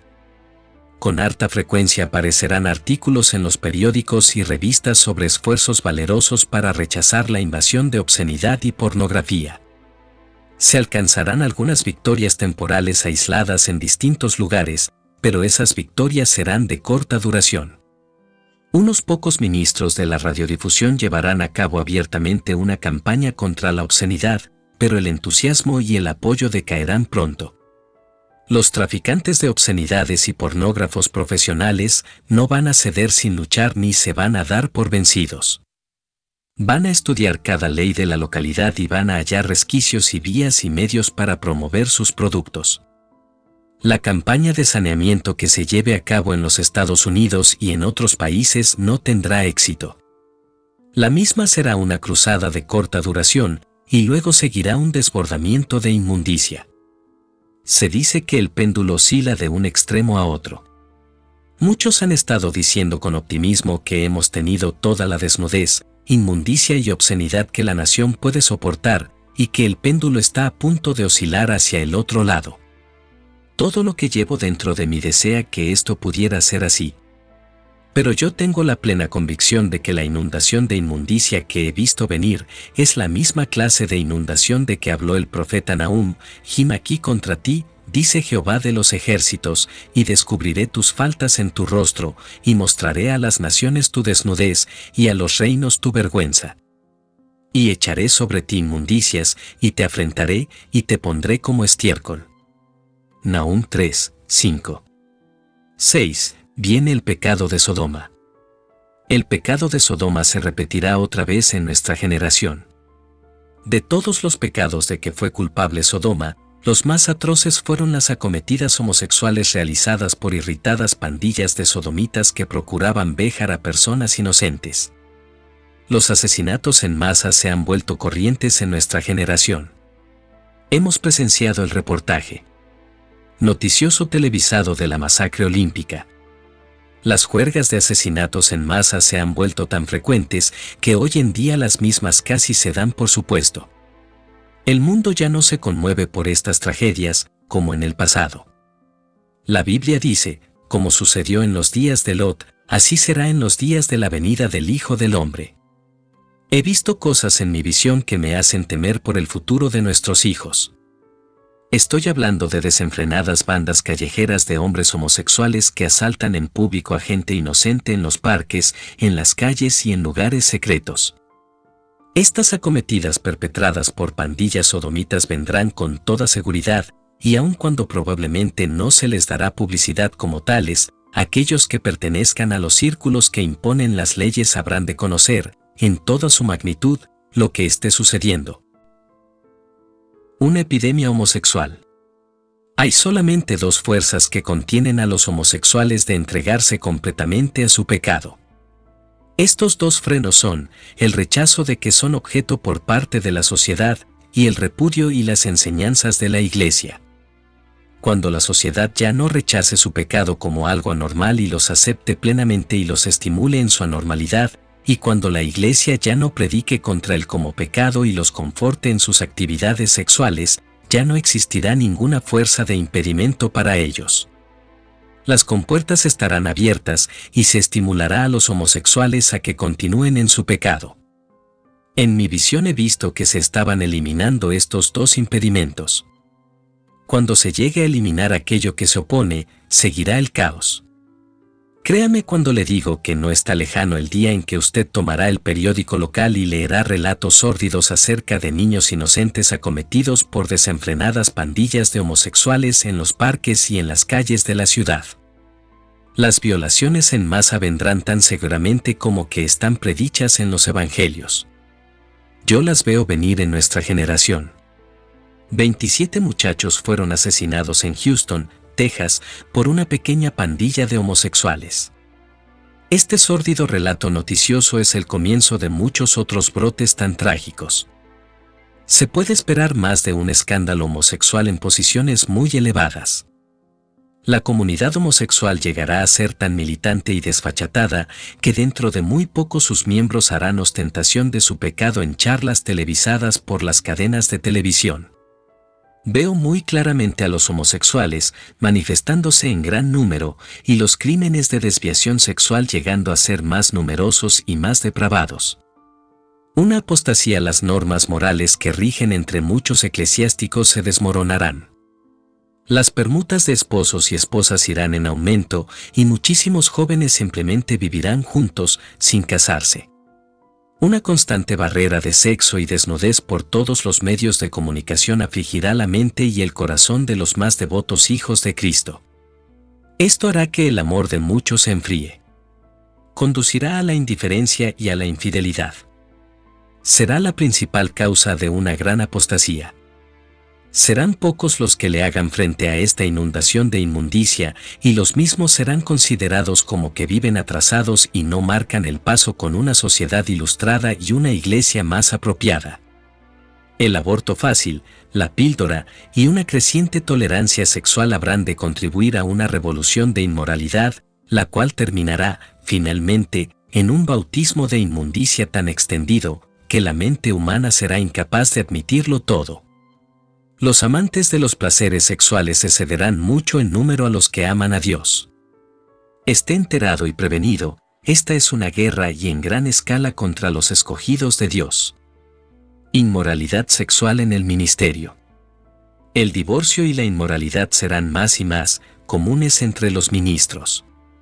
Un creciente número de sacerdotes se verán involucrados en aventuras sexuales y abandonarán el sacerdocio. Otros continuarán en el sacerdocio, pero mantendrán relaciones secretas. Un número siempre creciente de ministros protestantes van a caer en el pecado sexual, siendo gran parte de esas relaciones pecaminosas sostenidas en secreto. Tengo la convicción de que incluso ciertas denominaciones evangélicas les otorgarán pronto credenciales a ministros divorciados. El divorcio entre los ministros ya no entrañará más un estigma. Distintas denominaciones de iglesias continuarán revisando su opinión al divorcio y se tornarán más indulgentes con cada nueva convención y conferencia. Viene un reblandecimiento hacia el divorcio en las iglesias y en el ministerio. Esta es una tendencia que no será detenida, aun cuando los cambios de actitud se desarrollan lentamente. Me ha sido descorrido un velo y he tenido como si fuera una visión de lo que les está sucediendo secretamente a miles de ministros y de personas muy devotas. Bajo toda esa religiosidad y detrás de todos los falsos frentes se están manteniendo relaciones secretas, ocultas a los ojos de los hombres. Entre ellos están algunos de los más devotos y mejor conocidos. Algunos hombres y mujeres muy religiosos están engañando y entregándose a pecados sexuales secretos. Deploran su pecado y saben que su actitud nunca podrá aceptarse como correcta, pero parecen impotentes para contrarrestar la fuerza de este derrumbe moral personal. A menos que sean liberados milagrosamente, ello conducirá al naufragio y al desastre en muchos hogares e iglesias. Veo venir el día en que todo verdadero ministro y sacerdote del Evangelio habrá de enfrentar su hora suprema de tentación. Aquellos que pensaban que no eran susceptibles de tentación, serán tentados de la manera más severa. Dios guardará y librará a los que se vuelvan a Él de todo corazón. Aquellos que continúen flirteando y siendo indulgentes consigo mismo encararán una terrible hora de desesperación y de fracaso. Pronto Dios se las entenderá con el pecado secreto, con tal furor, que sus juicios comenzarán a caer a derecha e izquierda en la vida de aquellos que persisten en sus pecados. Aquellos que abandonen los pecados sexuales secretos serán restaurados y sanados. Lo que yo he oído y visto es un mensaje urgente procedente de la sala del trono de Dios. Hay pecado en el campamento y debe ser purificado. Ha llegado la hora en que Dios va a poner el hacha a la raíz de los árboles. Él va a limpiar su casa y va a santificar sus vasos para el servicio en esta hora de medianoche. Una tentativa de última hora para engañar a los escogidos de Dios. He visto a la gente de Jesús de esta generación como los últimos cristianos. Satanás va a venir como un ángel de luz, tan sutil, inocente e indefinible, que pocos reconocerán lo que les está ocurriendo. Él va a camuflar sus actividades y a intentar engañar a los cristianos con tentaciones que son legítimas en sí mismas, pero si se abusa de ellas, se tornan reprobables. La tentación número uno para los postreros cristianos será la prosperidad. La Biblia advierte que en los últimos días muchos cristianos serán tibios, ricos, prósperos, y no necesitarán de nada. no hay nada de malo ni de pecaminoso en ser próspero y tener éxito. Muchos de los patriarcas de la Biblia fueron hombres ricos. Abraham era muy rico en ganado, en plata y en oro. Job era inmensamente rico, llegando a poseer siete mil ovejas, tres mil camellos, quinientas yuntas de bueyes, quinientas asnas, y tenía muchos criados y una gran casa. Sin duda, Dios no está contra la riqueza ni la prosperidad, puesto que la Biblia dice que Él se complace en la prosperidad de sus siervos, Salmos 35, 27. Sin embargo, veo a millares de cristianos seducidos por la prosperidad. Los postreros cristianos van a ser afligidos por la prosperidad y probados por ella más que por la pobreza. En mi visión, veo a Satanás presentándose delante de Dios una última vez, como lo hizo para acusar a Job en la Biblia. Pero esta vez él viene con el propósito de pedir permiso para tentar a los postreros cristianos. He aquí lo que veo, y Jehová dijo a Satanás, ¿de dónde has venido? Satanás contestó, de rodear la tierra y de observar a los postreros cristianos. Y Jehová dijo a Satanás, ¿no has considerado a estos cristianos de los últimos tiempos cuán consagrados, cuán rectos, cuán temerosos de Dios y amantes de Cristo son? ¿Y cómo tratan de apartarse de tus perversos enredos? Entonces Satanás respondió a Jehová, sí, pero quita nada más el vallado con que los has rodeado. Job no renegaba de ti en su pobreza, pero solamente multiplica los bienes de todos los postreros cristianos y bendícelos mucho para allá de todo lo que Job tuvo jamás, y luego mira lo que ocurre. Haz a todos estos postreros cristianos opulentos como Job. Construyeles elegantes casas nuevas, dals automóviles finos, todo el dinero y todos los artefactos que necesiten. Abrúmalos con equipo de acampar, lanchas, viajes por el mundo, ropa fina, comidas exóticas, tenencia de tierras y cuentas de ahorro. Observa lo que les ocurre a tus cristianos de los últimos tiempos cuando se lleguen a repletar, a enriquecer, cuando vean incrementados sus bienes y no tengan necesidad de nada. Abandonarán a Dios y se volverán autosuficientes. Y yo veo como los automóviles, la ropa buena, las motocicletas y toda clase de bienes materiales llegan a ser, para los cristianos, un impedimento mayor que las drogas, el sexo o el alcohol. Veo a miles de cristianos apegados a las cosas materiales y obsesionados por ellas. Se hallan tan envueltos en las cosas materiales, que se vuelven tibios, obcecados, débiles y espiritualmente desnudos. Aun estando en medio de todo su materialismo, son desventurados, miserables y totalmente descontentos. En mi visión veo a Satanás parado atrás y riéndose alegremente, mira a todos los cristianos que se vuelven locos por el dinero, a todos los que amontonan buena ropa, atacados por la manía de la seguridad. Haciendo montones de dinero. Comprando todos los muebles nuevos. Adquiriendo carros más grandes comprando dos o tres de ellos. Comprando, plantando, vendiendo, casándose y divorciándose. Esto arruinó la generación de Lot. Y te arruinará a ti también. Fíjate cómo todos esos cristianos que reciben buenos sueldos, que viven una vida cómoda, que acostumbran comer bien, se vuelven perezosos, tibios, y llegan a ser presa fácil. Oh, Dios derrama prosperidad sobre ellos. Les está llegando muchos de ellos y está haciendo más fácil mi trabajo. El Dios que es dueño del ganado de un millar de colinas no quiere nada de lo que el hombre posee. Ni su casa, ni su carro, ni sus ropas, ni su lancha automóvil, ni su acuaplano, él solo quiere tener el primer lugar en el corazón de aquellos que se llaman a sí mismos por su santo nombre. Cristianos del Espíritu Santo oscilantes.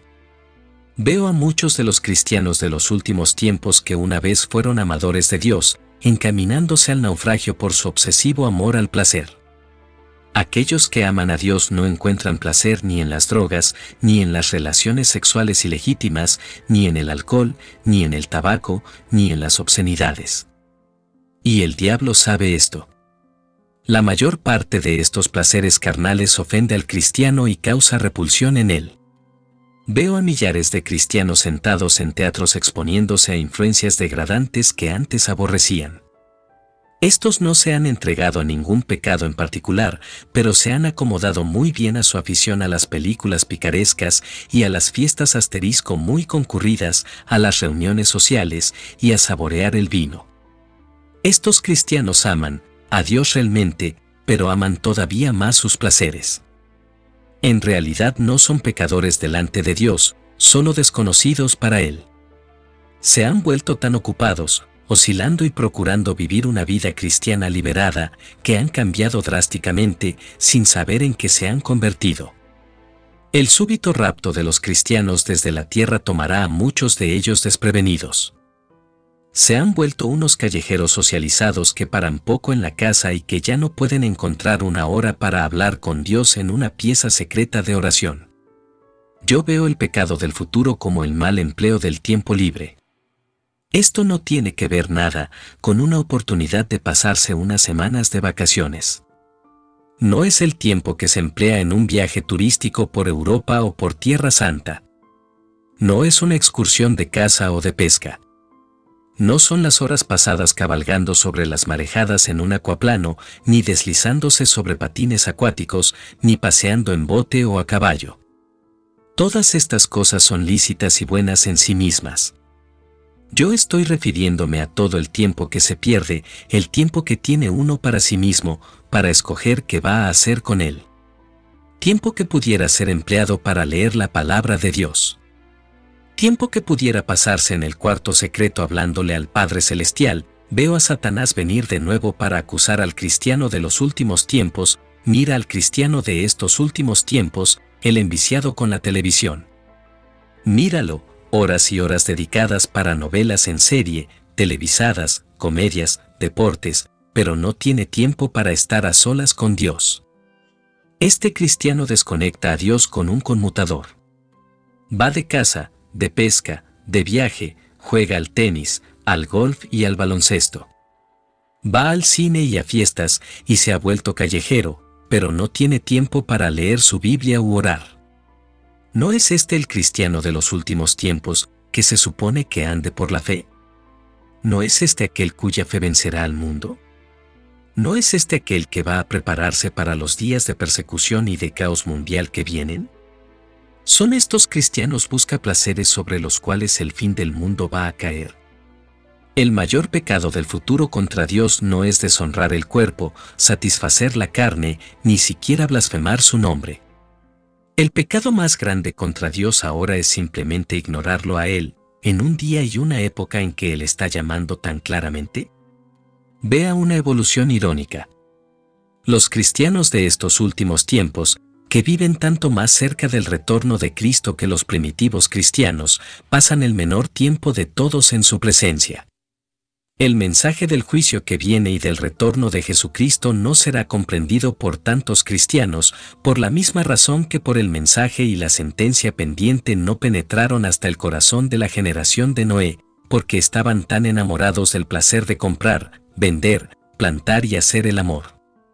Una guerra de habladurías. Yo sé ahora que Satanás ha declarado la guerra contra todo verdadero ministro de Jesucristo.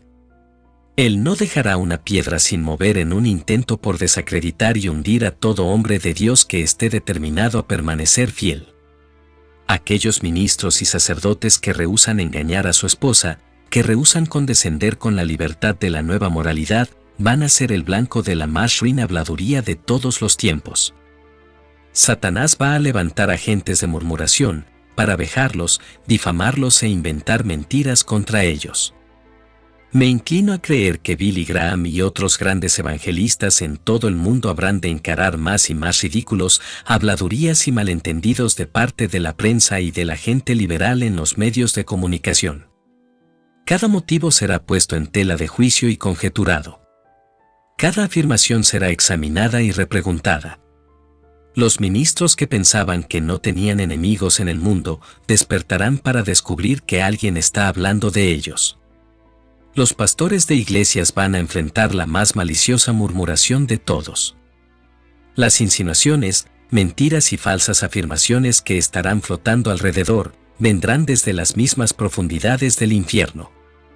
Será una demostración sobrenatural de los poderes demoníacos. Ni un solo verdadero ministro del Evangelio quedará inmune. Las esposas de los ministros que están casados serán también blanco del ataque.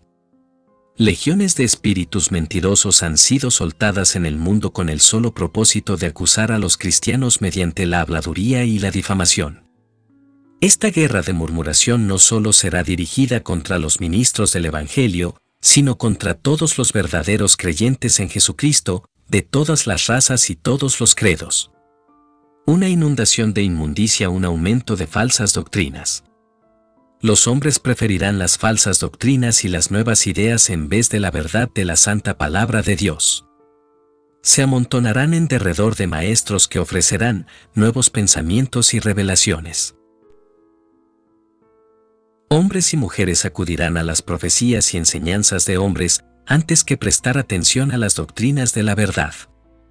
Escucharán a espíritus seductores y a doctrinas de demonios nos hallamos frente a una hora de extremos de evangelios, en la cual los hombres buscadores, que tienen comezón de oír, se irán tras ministros que se presentan como ángeles de luz, pero que en realidad están predicando y enseñando herejía. Las nuevas doctrinas usarán el nombre de Jesús liberalmente y estarán adornadas con aderezos de ascetismo, abnegación y fuerza de voluntad. Un temor de posesión demoníaca se apoderará de muchos sinceros cristianos. Acudirán a maestros que hablan más a menudo del poder de Satanás que del poder de Dios. He visto, sin embargo, que este movimiento hacia un temor de Satanás dentro de la iglesia será de breve duración. Aquellos que continúan poniendo énfasis en la posesión satánica de cristianos retornarán a la ley antigua y a una vida de obras. Asimismo, un número creciente de cristianos sinceros venderán todo y se incorporarán a comunas de tipo cristiano que presentan un modo de vida tipo monasterial y un conjunto de leyes mediante las cuales allegarse a Dios. Un falso movimiento de Jesús. Surgirá un movimiento de falsa, gente de Jesús que pondrá mucho énfasis en echar fuera demonios. Esa gente pretenderá sanar enfermos y realizar aparentes maravillas estarán involucrados en la alimentación de los poderes y la predicación de un gran amor. Pero entre ellos habrá falsos profetas que nunca se habrán rendido totalmente a Cristo. Son los que predican el amor en su nombre, pero que continuarán en su pecado y antigua rebelión. Son obreros de iniquidad que son instrumentos de Satanás para desacreditar el verdadero movimiento de Jesús. La Biblia predice que muchos de los que forman esta falsa gente de Jesús estarán delante del trono de Dios y dirán, Señor, Señor, no profetizamos en tu nombre, y en tu nombre echamos fuera demonios, y en tu nombre hicimos muchos milagros. Mateo 7, 22. Pero el Señor les dirá, Nunca os conocí, apartaos de mí, hacedores de maldad. Mateo 7, 23. Estoy convencido de que esto se refiere a esa falsa gente de Jesús que se puso a predicar en su nombre, operando albergues de protección para muchachos fugados del hogar, proporcionando alimentación a los pobres y vistiendo a los descamisados todo en el nombre del amor de Cristo, pero sin vivir la vida crucificada, rendida y resucitada de Jesús. Ellos blanquearon sus pecados y añadieron a Jesús encima de todo ello, daban saltitos de alegría y le danzaban a Jesús, pero no habían estado nunca en el Calvario para que sus pecados fueran lavados. Cuando venga la hora de la persecución, esta gente retornará a su sexualidad y a sus drogas y a su antiguo modo de vida. Solo aquellos que se han rendido totalmente a Jesucristo y hayan sido limpiados con su sangre sobrevivirán. Renacimiento del verdadero movimiento de Jesús. Sufriendo persecución y consciente de las señales de los tiempos, un ejército de verdaderos seguidores de Jesús seguirá surgiendo como comandos. Serán parte de una iglesia subterránea a la cual veremos predicando el retorno de Cristo y el fin de los tiempos, serán como una espina en el costado de la iglesia ramera, y producirán remordimiento y comezón en las conciencias de los hombres por su devoción y poder espiritual los adoradores del demonio estarán en conflicto abierto con todos estos verdaderos seguidores de Jesús. Solo aquellos que vivan por la verdadera fe podrán discernir las huestes espirituales de maldad en las regiones celestes. El problema juvenil número uno del futuro. Odio a mis padres. El problema juvenil número uno del futuro será el aborrecimiento de los padres. Dentro de poco el mundo va a quedar escandalizado por miles y miles de adolescentes que declaran, odio a mis padres. Estamos entrando ahora en ese periodo en que los peores enemigos del hombre serán los miembros de su propia familia, el padre contra el hijo, la madre contra la hija y los parientes políticos que se odian el uno al otro. El mayor problema de un adolescente será cómo convivir con sus padres. Ya ese odio hacia los padres se está extendiendo como un cáncer por todo el mundo. Los adolescentes que se ven precisados a vivir con padres hipócritas están aprendiendo a odiarlos. Ya no es más un resentimiento de índole inocente que puede pasar con la edad. Es un odio real que hace enemigos mortales de los parientes más próximos. Una nueva droga sexual no tengo la menor duda de que pronto el mercado negro confeccionará una nueva droga sexual que distribuirá entre los adolescentes y estudiantes. Esa droga destruirá la restricción moral y llevará a miles de adolescentes a practicar una actividad sexual promiscua. Al propio tiempo veo un tremendo cambio que viene en toda la cultura de drogas. Con excepción de esta droga sexual que estoy prediciendo que vendrá, esta generación no estará condenada a las drogas. La marihuana será legalizada. Todo lo que no podemos manejar, lo legalizamos pero la marihuana legalizada llevará al hastío. Habrá más adultos insatisfechos que fumen marihuana que adolescentes en pos de una emoción. Esta hierba será un problema de adultos en el futuro. El LSD, la anfetamina y otros psicodélicos llegarán a ser cada vez menos populares. Voy a predecir que los estudiantes se dirigirán más a los valores espirituales que a los valores químicos. Siempre tendremos problemas de drogas en este país, pero no serán aproximadamente tan grandes como el problema del odio en el hogar. Aumentará el alcoholismo entre los adolescentes al tiempo que se está prestando tanta atención al abuso de las drogas, un número creciente de adolescentes y estudiantes recurrirán a la bebida. Habremos de encarar un crítico problema de darse a la bebida entre los adolescentes de 13 a 16 años de edad. Este problema es, en parte, un retroceso a partir de toda la enseñanza impartida en nuestras escuelas sobre los peligros que encierra el uso de narcóticos. Hemos tenido éxito en ahuyentar a la juventud preadolescente de las drogas fuertes, pero no hemos hecho énfasis sobre los peligros del alcohol. En consecuencia, una gran cantidad de muchachos a quienes sus padres les habían dicho que los hábitos de beber paternos no habían sido tan malos como los hábitos de narcóticos de los adolescentes, han decidido soltar las drogas y dedicarse al alcohol. Sin embargo, aun cuando estoy vaticinando un trágico aumento en el alcoholismo entre los adolescentes, asimismo estoy convencido de que este no será un problema aproximadamente tan grande como el resentimiento hacia los padres. En realidad, el resentimiento hacia papá y mamá será la razón del por qué muchos habrán de darse a la bebida. Se está provocando a los muchachos. La Biblia advierte a los padres que no provoquen la ira a sus hijos, pero la inmensa mayoría de los padres está ignorando este mandamiento.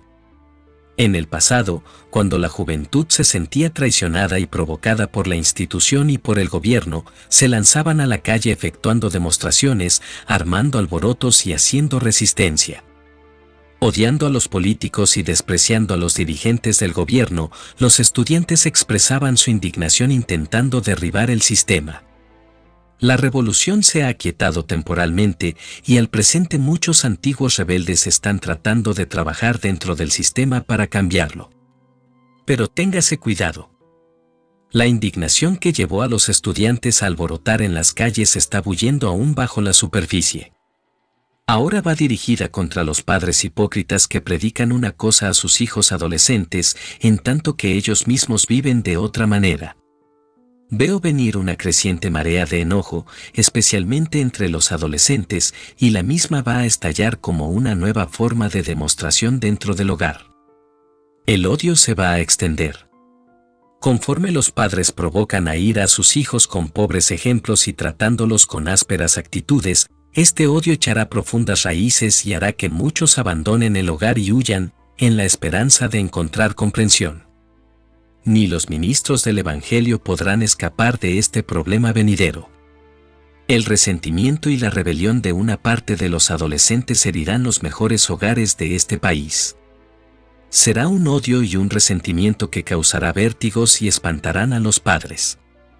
Muchos de ellos no sabrán cómo hacerle frente a este problema y la mayor parte de los padres ni siquiera comprenderán cómo y dónde comenzó todo eso. Una cosa es evidente, los padres se van a ser traicionados, indeseados y odiados. Este odio y resentimiento se extenderá tanto que estoy convencido de que habrán de ser, en un futuro muy próximo, el problema número uno del país. Disputa sobre las modas. Las modas cambiantes seguirán siendo uno de los principales factores causantes de esta crisis en la comunicación entre padres e hijos. Los padres, confundidos por la rápida marcha del cambio, reaccionarán con una firme disciplina, pero sin mucho amor ni comprensión. Los estilos de llevar el cabello, ropas malolientes, la música extravagante y las actitudes indolentes respecto al vestir seguirán siendo la causa principal de la mala inteligencia. Los adolescentes del futuro ni siquiera comenzarán a comprender el punto de vista de sus padres y simplemente los desconectarán. Esto conducirá al naufragio y al desastre en muchos hogares. Los padres demasiado estrictos van a ser los más duramente castigados entre todos. Es un esfuerzo honrado por mantener las normas anticuadas, algunos padres van a encontrar necesario ejercer una gran presión sobre sus hijos adolescentes para conformarlos a sus ideas en lo que a vestir y comportarse se refiere pero las presiones entre sus propios compañeros serán tan fuertes que harán que muchos adolescentes sinceros acepten las ideas de sus propios amigos y rechacen las reglas de sus padres. Por otra parte, aquellos padres que se vuelven demasiado tolerantes y permiten a sus hijos adolescentes que se vistan y actúen como les place, pronto descubrirán que los adolescentes no saben cómo manejar tanta libertad tan temprano en la vida. Estos irán demasiado lejos, demasiado prisa y, al propio tiempo, se resentirán con sus padres por no proporcionarles alguna clase de disciplina. Los padres encontrarán cada vez más difícil saber cómo entendérselas con las cambiantes maneras y modas. Requerirá dirección sobrenatural y divina, y solo aquellos a quienes el cielo les conceda sabiduría sabrán cómo hacerle frente a este problema. Reacción contra el vacío espiritual. El resentimiento y la rebelión que veo venir entre los adolescentes serán causados, en parte, por el vacío espiritual que hay en muchos hogares. Últimamente, los padres desprovistos de toda espiritualidad han estado disuadiendo a sus hijos de que se relacionen con los fanáticos de Jesús. Los padres se han vuelto más interesados en su propia posición social que en la condición espiritual de sus hijos. En el transcurso de esta próxima década los adolescentes van a enfrentar crisis apocalípticas. Van a estar viviendo en un mundo que se va a conmover hasta sus mismos fundamentos. Habrá guerras, rumores de guerras y angustia de las gentes en todo el mundo. Habrá calamidades, terremotos, pestilencias y variaciones atmosféricas drásticas que espantarán y alarmarán su mente joven aquellos padres que han descuidado proporcionar a sus hijos dirección espiritual y esperanza en las cosas eternas, van a enfrentar un día de retribución. Los adolescentes se van a resentir con sus padres, que los han privado de esta experiencia y este conocimiento. El hogar que no ha tenido Dios, ni iglesia, ni instrucción espiritual, ni Biblia, ni hambre de Dios, se encamina directamente al desastre. No te estoy predicando ahora, estoy profetizando. Voy a predecir que los adolescentes criados en tales hogares se van a volver contra sus padres, llenos de rencor, ocho y rebelión. Vendrá un radical más joven. Los radicales del futuro inmediato serán más jóvenes que los de hoy, mejor educados y totalmente alejados del padre y de la madre. Estamos a punto de recoger una trágica cosecha como resultado de estos recientes años de negligencia, apatía, tolerancia y paternalismo exagerado de los padres y una proporción astronómica de divorcios. Muchos de estos radicales serán jóvenes, preadolescentes, que se expresarán en sus propios periódicos clandestinos contra la hipocresía de los padres.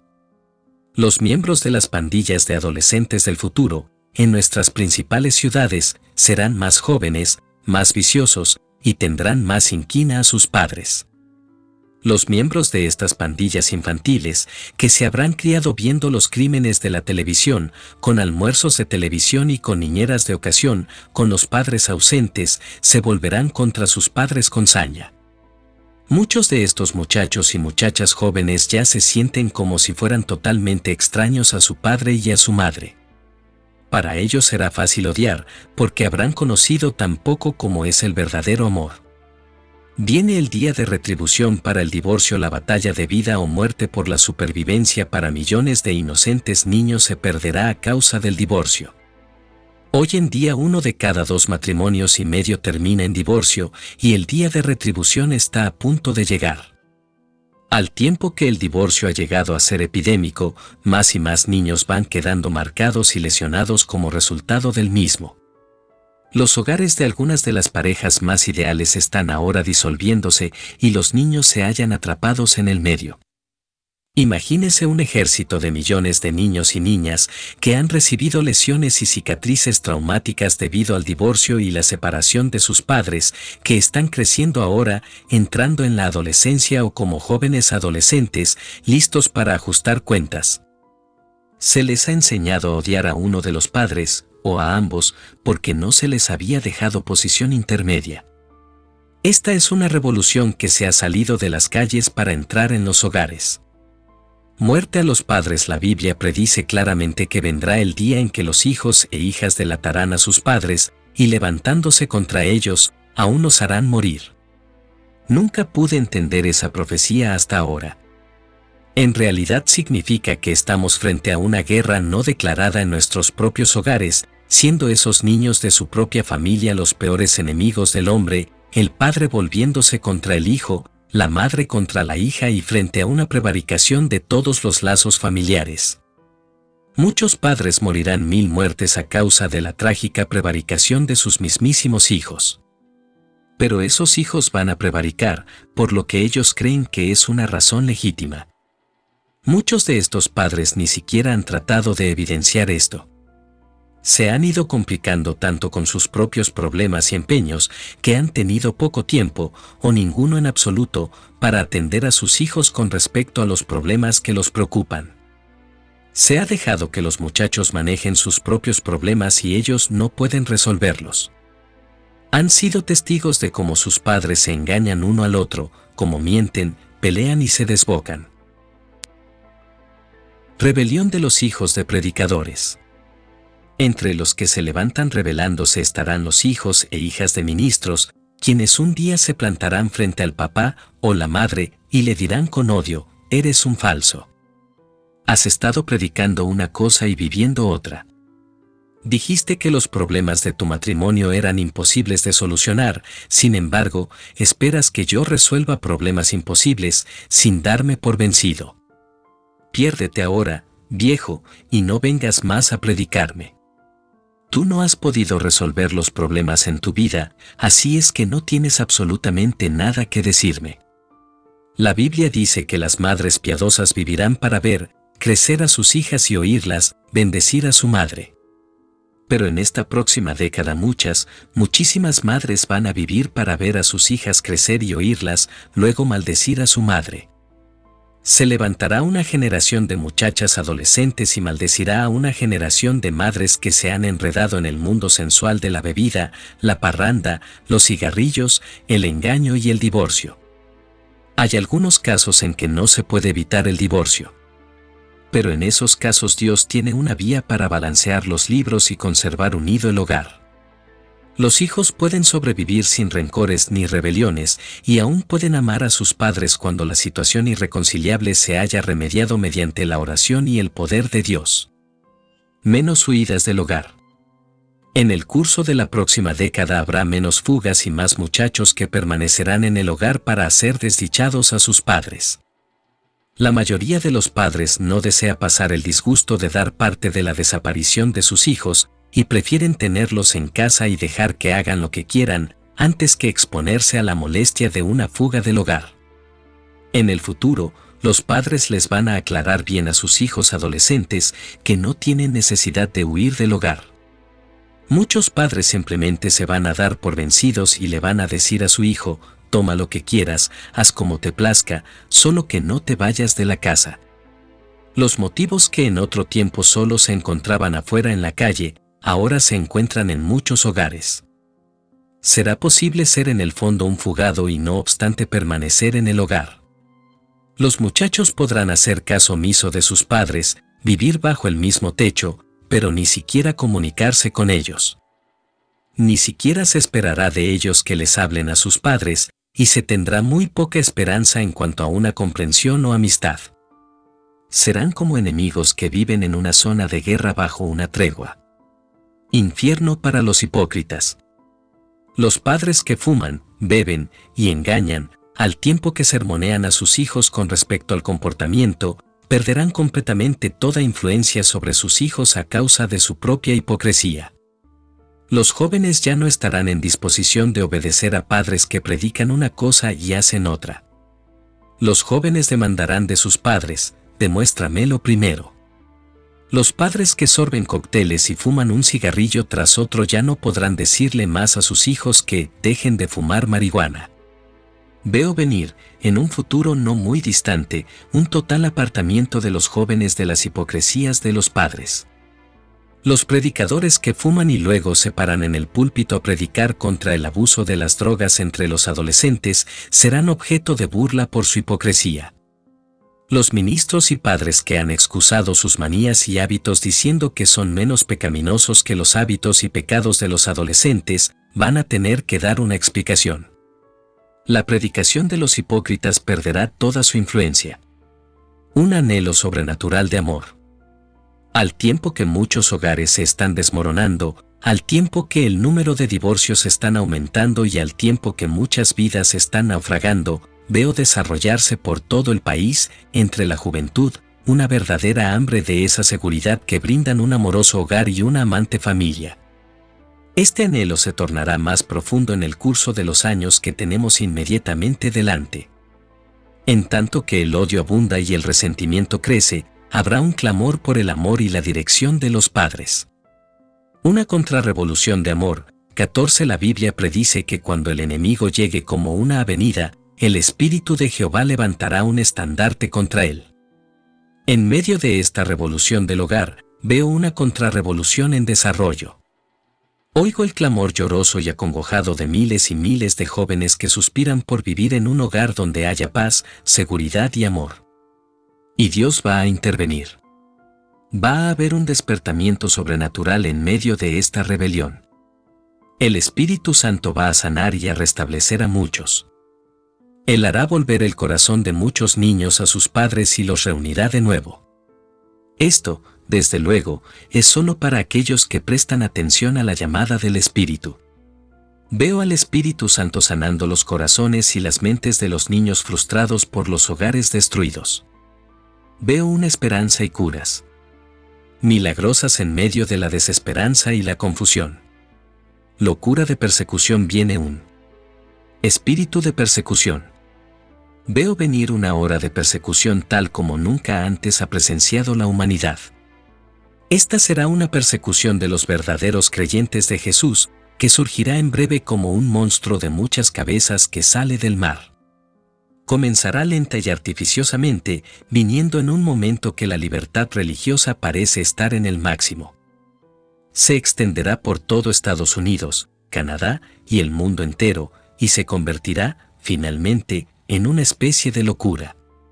Un espíritu de anticristo entrará en el corazón de ciertos hombres que estén en altos puestos, en el gobierno y en el sistema judicial, haciendo que estos funcionarios se empeñen en realizar maniobras legales destinadas a hostigar a las iglesias, misioneros y ministros independientes. Ya existen muchas evidencias de que este hostigamiento ha comenzado al presente.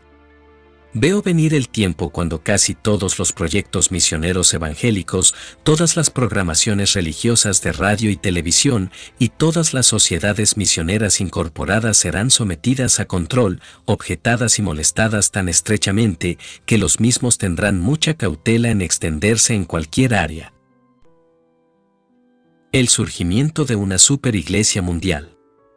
Veo la formación de una superiglesia mundial que consistirá en una unión entre los protestantes ecuménicos liberales y la Iglesia Católica Romana que se unirán políticamente de la mano, creando una de las más poderosas fuerzas religiosas de la Tierra.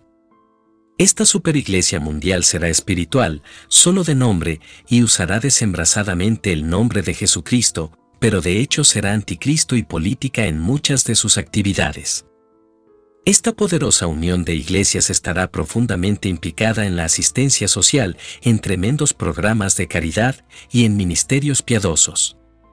Sus dirigentes harán declaraciones arrolladoras con respecto a satisfacer las necesidades del género humano, emitiendo un llamado por una renovada labor social e intervención política, y por una mayor voz en los asuntos mundiales. Una repentina serie misteriosa de acontecimientos. Justamente cuando parezca que el movimiento ecuménico está casi muerto, una serie bastante misteriosa de acontecimientos dará origen a la estructura de esta unión. Roma insistirá en obtener muchas concesiones de los líderes ecuménicos protestantes y las recibirá. El Papa será más un jefe político que un líder espiritual de esta gran unión. A su vez los líderes protestantes del movimiento ecuménico insistirán en obtener ciertas concesiones de Roma y las recibirán. No se les pedirá a estos que consideren al Santo Padre como la cabeza infalible de la Iglesia y aceptarán su jefatura política sin aceptar su papel como sucesor de Pedro. No estoy sugiriendo en modo alguno que el Papa o algún otro dirigente eclesiástico involucrado en esta organización de superiglesia vaya a estar comprometido en actividades de anticristo. La Biblia tiene mucho que decir en relación con este asunto, pero no me corresponde a mí en este momento especular sobre este tema. Sin embargo, si veo algo que me espanta, Veo un ejército de gente profesional que invade los puestos más influyentes de esta organización de superiglesia.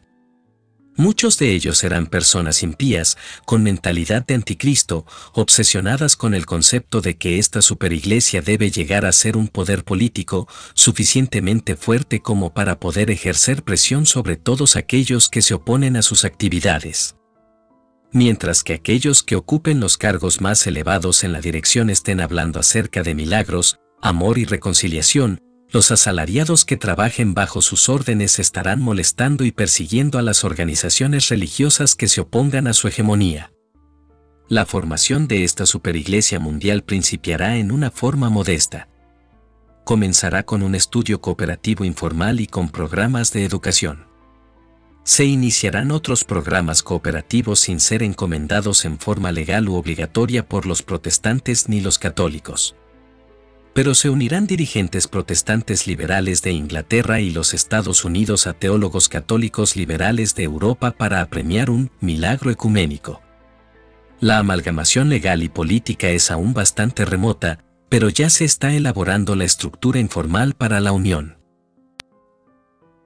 los homosexuales acogidos por la superiglesia. Bajo el pretexto de comprensión, la superiglesia aceptará la homosexualidad y la estimulará. Habrá ministros homosexuales con cargos de autoridad. Se distribuirá literatura en plan de estudio que sugerirá a los jóvenes que la homosexualidad es una forma normal y aceptable de práctica sexual cristiana. Se enseñará que es un don de Dios. Danza al desnudo en la iglesia se dirá que es una forma artística de adoración. Los hombres adorarán más a las criaturas que al Creador y Dios los entregará a sus pecados. Habrá una nueva forma de enfermedad mental que no responderá a ninguna clase de tratamiento. La desnudez en público en cualquier forma es adoración a la criatura, y la desnudez en la iglesia no quedará sin contestar por Dios. Traerá trastornos mentales. La práctica no se generalizará, pero será aceptada por muchos dirigentes. Prácticas ocultas dentro de la superiglesia. Ocultismo. Algunos grupos de Haití incorporan vudú en su forma de adoración. Se rehará la imagen del diablo para quitarle lo temible.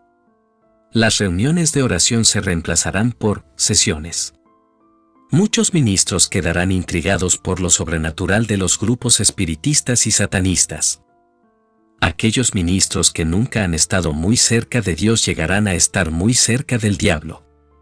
Satanás aparecerá como un ángel de luz para engañar, los propios ministros de Satán aparecerán como ángeles de luz, diciendo que Satanás no es enemigo sino amigo. La superiglesia no lo aceptará oficialmente, pero se respetarán la frenología, quiromancia, sortilegio y horóscopo. Levantamiento de una iglesia sobrenatural. Sobrenatural unión de los verdaderos seguidores de Jesús reunidos por el Espíritu Santo. Será una confraternidad clandestina que incluirá a católicos, carismáticos y protestantes de todas las denominaciones. Sin importar edad, raza o nacionalidad. Al tiempo que la superiglesia crece, esta iglesia invisible crecerá en poder espiritual. Este poder vendrá de la persecución, que los llevará a unirse y acercarse a Jesús. Se le dará menos importancia a los conceptos denominacionales y más énfasis al retorno de Jesús. El Espíritu Santo los congregará en uno. Esta iglesia ya existe, pero se tornará más y más invisible, pero se volverá radical en sus esfuerzos evangelísticos. El Espíritu Santo les dará fuerza para seguir predicando el Evangelio hasta que llegue a todos los confines de la tierra. Persecución de los católicos carismáticos. La Iglesia romana retirará su beneplácito a todos los católicos que se inclinan hacia las enseñanzas pentecostales concernientes al Espíritu Santo. Se aplicará una presión política de alto nivel a los sacerdotes para que apaguen el fuego el Papa asumirá una actitud negativa contra el movimiento. La Iglesia se pedirá una depuración hasta que todos los católicos que pertenecen al movimiento encaren una persecución. Quienes no pertenecen al movimiento lo acusarán de carecer de interés social y olvidar las tradiciones de la Iglesia. Serán acusados de apartarse de la Virgen y negar la autoridad del Papa. Todo católico que haya recibido el bautismo del Santo será perseguido. Algunos regresarán a las tradiciones, sin embargo, otros descubrirán más compañerismo y relación espiritual con protestantes que centran su vida en Jesucristo. Muchos católicos y protestantes saldrán de en medio de ellos juntos. Estos nuevos cristianos no se llamarán católicos o protestantes, sino simplemente cristianos renovados. Su confraternidad no estará basada en hablar en lenguas, sino en Jesús y el Padre. La persecución no detendrá a la Iglesia, al contrario, se vivificará. Disminuirá el énfasis de hablar en lenguas y se desarrollará la fraternidad espiritual basada en una enseñanza bíblica de los verdaderos seguidores de Jesucristo. Persecución mediante una lucha de los medios de comunicación. Actualmente, hay mucha libertad para predicar el Evangelio. Hay cristianos con estaciones de radio y televisión, hay libertad para orar, para levantar fondos y promover el Evangelio, pero pronto vendrá persecución y hostigamiento. Los programas de radio y TV centradas en Cristo llegarán a ser el blanco de las fuerzas satánicas. Los dirigentes eclesiásticos liberales intentarán establecer una junta seleccionadora y tratarán de imponerse en la Comisión Federal de Comunicaciones de Estados Unidos, como la máxima autoridad en todos los programas, gratuitos y pagados, transmitidos en los medios. No saldrá al aire ningún programa sin su aprobación. El resultado es un suave evangelio, sin Cristo que no ofendería a nadie. Las fuerzas ateas y anticristianas están preparando litigio contra emisiones evangelistas. Satanás usará toda táctica que esté a su disposición. El mensaje es este, trabajen entre tanto que es de día porque viene la noche, cuando nadie puede trabajar. Persecución desde Hollywood. Hollywood aumentará su ataque contra la verdadera religión por medio de películas ridiculzantes. Los evangelistas y los ministros evangélicos seguirán siendo estereotipados como charlatanes, engañadores y comediantes ávidos de dinero. Cada vez más productores intentarán derribar los valores morales puritanos. Los pastores y las iglesias donde se predica el Evangelio serán objeto de ataques especiales, mientras que se glorificará el ocultismo y la hechicería, presentándolos como sensacionalistas. Una nueva generación de productores de películas ateos provocará una obsesión contra toda religión que inhiba los deseos hedonistas del hombre. Persecución desde las comedias televisadas. Los programas de comedia se irán volviendo más osados al burlarse de Cristo y los verdaderos cristianos. Eventualmente, estos programas usarán las palabras oeses. Las programaciones llegarán a ser absolutamente blasfemas y millones se sentarán frente a sus televisores para reírse al tiempo que se destruye todo lo considerado sagrado. La comedia más anticristiana jamás discurrida será llevada al aire por las emisoras sin oposición alguna. Persecución mediante la imposición de impuestos a las iglesias. Se intentarán imponer contribuciones a las iglesias y a las organizaciones relacionadas con las iglesias. Comenzará como una clase de insignificante impuesto indirecto, pero se convertirá en un impuesto monstruoso que llevará a iglesias a la bancarrota. Socavación de la educación cristiana. Veo tres maneras en que Satanás intentará socavar la educación cristiana. Habrá hostigamiento político, expedientes prolongados y problemas financieros agudos. Habrá en los estudiantes un inexplicable espíritu de apatía, de desasosiego y falta de respeto. En tercer lugar, ha de esperarse se infiltrarán profesores que sin saberlo serán instrumentos de Satanás para socavar los fundamentos de la fe. Satanás intentará arrebatar la dirección de estas escuelas e instituciones de las manos de hombres de Dios para ponerlas en las de liberales que moverán hacia el agnosticismo.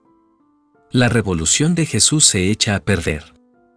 La revolución de Jesús, tan extendida entre la gente joven, entrará en decadencia y los seguidores indisciplinados retornarán a sus drogas, a su sexualidad libre y su antigua manera de vivir la persecución separará a las ovejas de los cabritos. Solo los discípulos totalmente rendidos quedarán en pie cuando aclare la bruma. Vendrá el tiempo en que ya no será popular ser un seguidor de Jesús. Las canciones sobre Jesús ya no estarán en boga y su nombre ya no será un elemento de éxito comercial para Bradway Hollywood. El mundo UE una vez usó el nombre de Jesús tan promiscuamente, se volverá contra él y lo echará abajo. Será una nueva representación de Jesús entrando en Jerusalén en un asno con la multitud, aclamándole para tiempo después ese mismo pueblo gritar.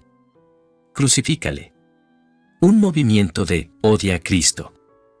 Mire lo que está sucediendo hoy en día, el año de escritura de este libro es 1973, muchos de los que saltaban y gritaban están regresando a sus drogas y formando un movimiento de odia a Jesús. Un grupo de adoradores del diablo y ocultistas son el núcleo de un movimiento contra Jesús, cuyo propósito es hostigar al movimiento de Jesús, de donde han salido un grupo de verdaderos seguidores, aquellos que han abandonado sus hábitos y se han entregado al servicio de Jesucristo. Mi mensaje a estas personas es claro, prepárense para la persecución que viene. Los jóvenes cristianos que se declaren abiertamente a favor de Cristo serán literalmente apedreados por los de su propia edad. Este movimiento de repulsa a Cristo será dirigido personalmente por Satanás y lo impulsarán ocultistas. Puede venir el día cuando los escarnecedores sean tan violentos y generalizados que los jóvenes cristianos no tendrán otra que templarse como el acero o renegar de su fe. Ministros de Satanás. Habrá, evangelistas, de Satanás, generalmente gente joven que predicarán acerca de su poder y trabajarán con pasión y celo para ganar prosélitos. Se harán circular tableros de la guija, cartas, tarot, horóscopos y libros de ocultismos que serán devorados por los jóvenes que buscan la verdad. No piense que los cristianos escaparán de la prueba. Se vendrán encima de una manera tan imperceptible y tan sutil que de entrada no la reconoceremos. Todo esto caerá sobre la tierra como una locura. Despertar espiritual detrás de las cortinas de hierro y de bambú. En tanto que las naciones libres experimenten persecución, los países del otro lado experimentarán un breve periodo de despertar espiritual. El Espíritu Santo de Dios agrietará las cortinas de hierro y bambú y encontrará los corazones hambrientos en Rusia, China y Europa Oriental. Dios hará que venga una tregua entre el este y oeste para introducir el Evangelio en los países comunistas. Dios puede usar tan solo a los cristianos japoneses y coreanos para llegar hasta China. Un movimiento del Espíritu Santo en Finlandia rebosará hasta derramarse en Rusia. Luego de un breve periodo de libertad y despertar, las puertas se cerrarán y comenzará la locura de la persecución con gran intensidad. El mensaje de Dios para los desprevenidos. Estamos a punto de pasar de la era de Acuario a una era que la Biblia describe como el Día de los Dolores. Jesús mismo advirtió acerca de una gran tribulación que vendría sobre la tierra como nunca antes se había presenciado en la historia. Las predicciones de Jesús, no dejes que nadie te engañe. Porque vendrán muchos pretendiendo ser el Mesías, pero engañarán a muchos. Oirás de guerras. Las naciones y los reinos se levantarán unos contra otros. Habrá hambres y terremotos en muchos lugares. Pero todo esto será solo el comienzo de horrores por venir. El pecado será rampante en todas partes. Las buenas nuevas serán predicadas por todo el mundo y entonces vendrá el fin.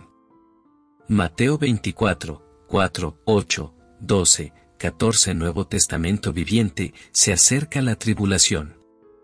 Un diccionario define, tribulación, como angustia, aflicción y sufrimiento, y esta gran tribulación será un tiempo de sufrimiento y crisis increíbles. Dios, por su Espíritu Santo, está llamando a la humanidad a prepararse para el fin de todas las cosas. Él está permitiendo que la naturaleza golpee esta tierra con una crisis tras otra para advertir del día de la ira y el juicio que se aproxima. ¿Podemos creer las predicciones de Jesús? En una era de mayor conocimiento, de grandes logros científicos, podemos realmente aceptar la idea de un mundo en completo caos. ¿Deben tomarse literalmente las profecías bíblicas? ¿Habrá una guerra mundial final que involucre a todas las naciones, como se describe en la palabra de Dios? ¿Habrá aún peores hambrunas, plagas, terremotos, inundaciones y otros cambios climáticos severos como se describe claramente en la Biblia. Guerra y terrorismo. ¿Veremos guerra, actos de terrorismo y violencia por todas partes? Habrá un colapso de todas las normas y leyes morales, así como una depresión mundial con una inflación galopante y una economía devastada. Realmente va a haber un breve periodo de frágil paz en la tierra cuando los hombres en todas partes anhelen y clamen por un retorno a la tranquilidad. ¿Y ese tiempo de frágil paz precederá a la condenación inminente predicha en la Biblia? ¿Podemos realmente creer en la Biblia cuando dice que un día los hombres dirán, sobreviviremos a todas estas crisis? Tendremos paz y prosperidad. Entonces, de repente, el mundo se verá envuelto en una guerra mundial destructiva final. ¿Hay realmente un? ¿Viene el Armagedón? Más de dos mil millones asesinados. La mente humana queda aturdida por las profecías bíblicas si se toman literalmente. Si creemos en la interpretación literal de la Biblia, se avecina una guerra mundial final y una tribulación en la que morirán más de dos mil millones de personas. La muerte vendrá de la guerra, las hambrunas, las plagas, los terremotos, las inundaciones y los cambios climáticos severos en todo el mundo. La Biblia claramente predice que los hombres se burlarán de tales profecías y predicciones como las que se hacen en esta visión. Predicción de Noé ignorada. La gente en los días de Noé no creía que un diluvio de juicio vendría a la tierra, y pasaban su tiempo en juerga, riéndose del profeta loco que estaba predicando una visión. La Biblia dice, no sabían hasta que vino el diluvio y se los llevó a todos. Jesús dijo que los hombres y las mujeres igualmente continuarán en el pecado sexual, la rebelión, la violencia y la inmoralidad hasta el fin de los tiempos no aceptarán visiones o predicciones de fatalidad o juicio inminente. Sin embargo, con todas las burlas y burlas que este tipo de mensaje recibe de los intelectuales y líderes de la Iglesia, la gran mayoría de los jóvenes de hoy están preocupados por las profecías apocalípticas. Hoy en día no son solo los cristianos los que esperan un fin del mundo como lo predice la Biblia. Incluso la revista Time hizo recientemente un tratamiento serio del tema. Ahora hay muchos científicos e intelectuales, pensantes, conductistas y técnicos que también advierten que la historia mundial probablemente podría llegar a un final cataclísmico en un futuro cercano. El mensaje de esta visión se llamará un intento fanático de asustar a los inconversos. Otros lo criticarán debido a toda la ira y el juicio. Los hombres eligen muy a menudo ver solo un lado de Dios, su amor y misericordia. Pero Dios tiene otro lado de su personalidad. Incluso una verificación superficial de la palabra de Dios lo probará fácilmente. El apóstol Pablo dijo, conociendo el terror del Señor, persuadimos a los hombres. Segunda de Corintios 5, 11, un mundo fuera de control. Si cree que mi visión es aterradora o demasiado lejana, déjeme darle una cronología clara de lo que la Biblia predice que vendrá. La Biblia claramente predice que el mundo aparentemente se saldrá de control, que las ciudades se volverán ingobernables y que los países serán ingobernables la gente comenzará a rechazar a Dios por completo. La humanidad se volverá codiciosa y materialista. Habrá rebeldes alborotadores que se harán cargo de las instituciones y las personas en medio de esta crisis estarán divirtiéndose de todas las formas perversas imaginables. Miles de cristianos se apartarán y comenzarán a traicionar a sus amigos. Serán exaltados, hinchados de orgullo y preferirán los buenos tiempos a adorar a Dios. Se volverán amantes de los placeres más que de Dios. Los tiempos normales desaparecerán, y aparecerá el adicto, la prostituta, el homosexual, el ladrón y el asesino callejero. A pesar de un aumento en el conocimiento, la naturaleza humana se volverá esclava de la inmoralidad, la violencia y la rebelión. La Biblia predice un día de terrorismo total y violencia. La inmoralidad de dimensiones increíbles rodeará a los cristianos y afligirá sus almas casi hasta la muerte. Satanás intentará desacreditar y destruir la obra del Espíritu Santo. Naciones enteras seguirán filosofías de rebelión sin Dios y cultos religiosos falsos. El mundo va a maniobrar hacia una posición de anarquía e imprudencia, que solo puede ser unida por un superdictador que reclama poderes sobrenaturales. Israel será invencible. La Biblia predice que en los últimos días la nación de Israel renacería. Después de casi dos mil años, los judíos que han vagado por la faz de la tierra, oprimidos, perseguidos y asesinados por los enemigos de Dios regresarán a Palestina y recuperarán su patria. En cumplimiento específico de la profecía bíblica, la nación de Israel nació en mayo de 1948 y comenzó a florecer como una rosa en el desierto, tal como lo predijo la Biblia. La Biblia también predice que una hueste de enemigos se levantaría contra Israel e intentaría saquear la tierra, pero que todos los enemigos correrían derrotados con el corazón deshecho. La Biblia sugiere que un judío pondrá en fuga a más de mil enemigos. Y diez pondrían en fuga a diez mil. Israel es invencible porque fluye en la marea de la profecía divina. No hay nación en la tierra y diez pondrían en fuga a diez mil. Israel es invencible porque fluye en la marea de la profecía divina. No hay nación en la tierra y diez pondrían en fuga a diez mil. Israel es invencible porque fluye en la marea de la profecía divina. No hay nación en la tierra lo suficientemente poderoso como para destruir a Israel, y solo en el tiempo señalado por Dios un enemigo pisoteará las calles de Jerusalén. Unos Estados Unidos del mundo la Biblia predijo el nacimiento del mercado común europeo. La Comunidad Económica Europea comenzó su confederación de seis naciones después de la firma del Tratado de Roma en 1957. Cuando se firmó ese tratado, muchos maestros de la Biblia se preguntaron si este era el cumplimiento de la profecía bíblica de la resurrección del antiguo imperio romano.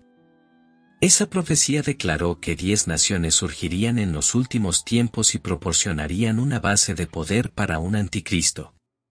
Desde el tratado en 1957 se han agregado otras cuatro naciones, creando un total de diez. Se sigue hablando ahora de ampliar la comunidad a unos Estados Unidos de Europa. Los MITs fuera del camino, despertar a todas las personas y galvanizar a todos los gobiernos a la acción que venga rápido. Citado en Lesoir, la anarquía y la confusión mundial pueden madurar este mundo para un dictador anticristo que vendrá en nombre de la paz para acabar con la desesperación y la anarquía que abundarán. Un anticristo superestrella. Cuando resuelves el misterio y lo espeluznante de las revelaciones de los profetas de Dios, ves claramente una predicción de la venida de un anticristo superestrella que se levantará en los últimos días, desafiará a Dios y perseguirá a los verdaderos creyentes. Vendrá en nombre de la paz, la ley y el orden y logrará cambiar los sistemas de leyes y justicia. Será expuesto como un hijo fraudulento de Satanás. La Biblia predice que su gobierno de terror será de corta duración pero totalmente devastador.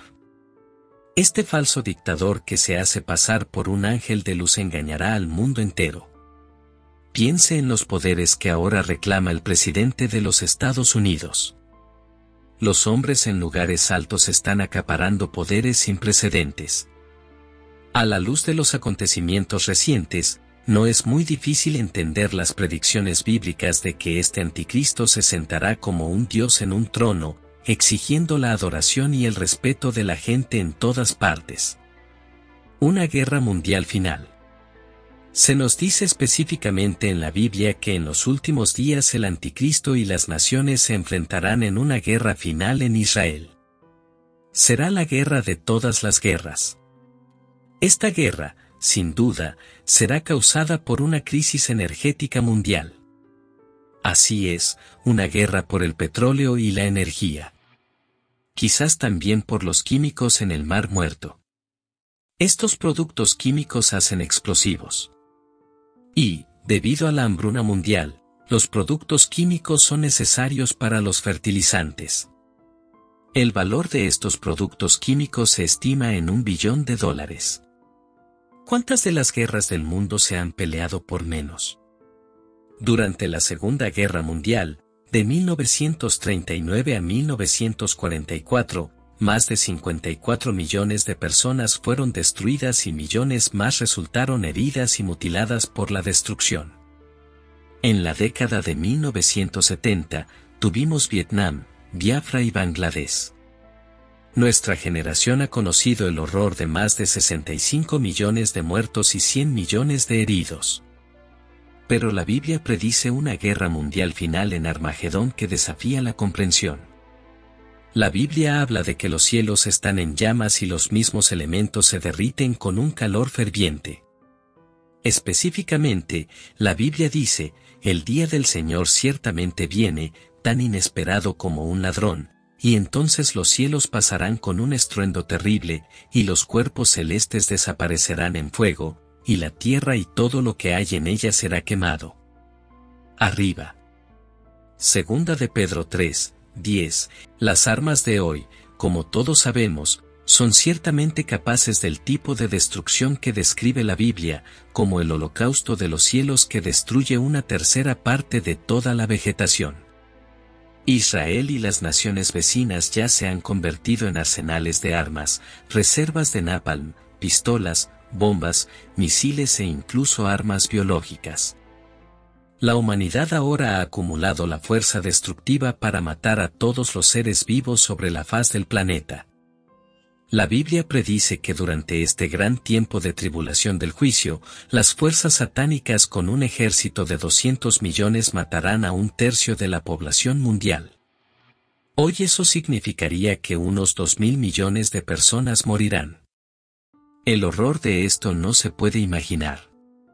Hasta ahora, nuestra peor guerra mundial, la Segunda Guerra Mundial, cobró 54 millones de muertos. Esta última guerra matará a 37 veces más. Es tan espantoso que es difícil incluso pensar en ello. Mayor adoración al diablo. La Biblia predice que a pesar de que el mundo se tambalea al borde de la guerra y la devastación, la humanidad se volverá a la adoración de demonios, espíritus satánicos e ídolos hechos de metal, piedra y madera. El aumento de las prácticas ocultas que ahora estamos presenciando está claramente predicho en la Biblia como una señal del fin de los tiempos. Los jóvenes de hoy están jurando lealtad a Satanás o están adorando a los dioses de la tecnología y la ciencia. Solo un mundo poseído por demonios será capaz de el aumento de las prácticas ocultas que ahora estamos presenciando está claramente predicho en la Biblia como una señal del fin de los tiempos. Los jóvenes de hoy están jurando lealtad a Satanás o están adorando a los dioses de la tecnología y la ciencia. Solo un mundo poseído por demonios será capaz de el aumento de las prácticas ocultas que ahora estamos presenciando está claramente predicho en la Biblia como una señal del fin de los tiempos. Los jóvenes de hoy están jurando lealtad a Satanás o están adorando a los dioses de la tecnología y la ciencia.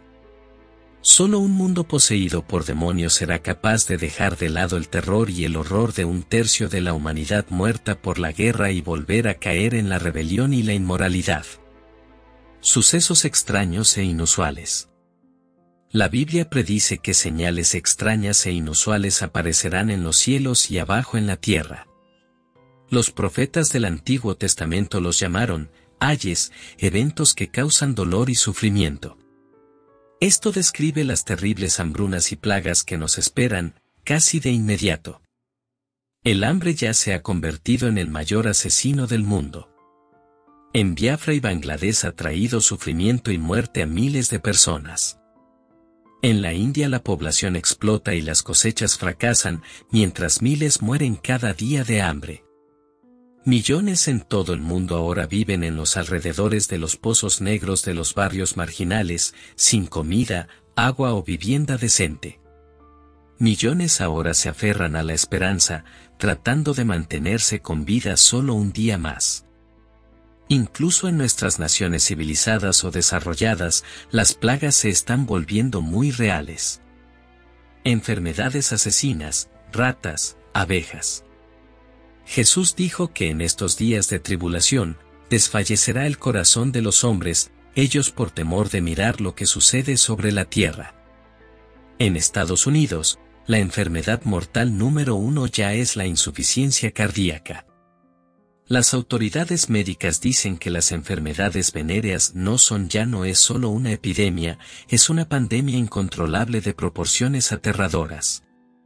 Los científicos advierten sobre nuevas cepas de gérmenes, virus y alimañas que son resistentes a venenos y productos químicos y amenazan con alterar el equilibrio de la naturaleza. Las superratas inmunes a los venenos ahora infestan los suministros de granos y transmiten enfermedades temibles a los humanos. Las llamadas abejas asesinas se han criado en América del Sur y amenazan con invadir este país la picadura es casi siempre fatal. El clima inusual con veranos lluviosos y húmedos ha causado plagas de mosquitos. En algunas áreas, han sido lo suficientemente malos como para causar estampidas de ganado y causar enfermedades en otras vidas. En Texas y partes de Nuevo México, miles de cabezas de ganado han muerto congelados. Estos animales muertos se amontonaron, se empaparon con queroseno y se quemaron. En África, millones de cabezas de ganado han muerto por falta de lluvia y condiciones de hambruna. Estos se convertirán en problemas cada vez mayores.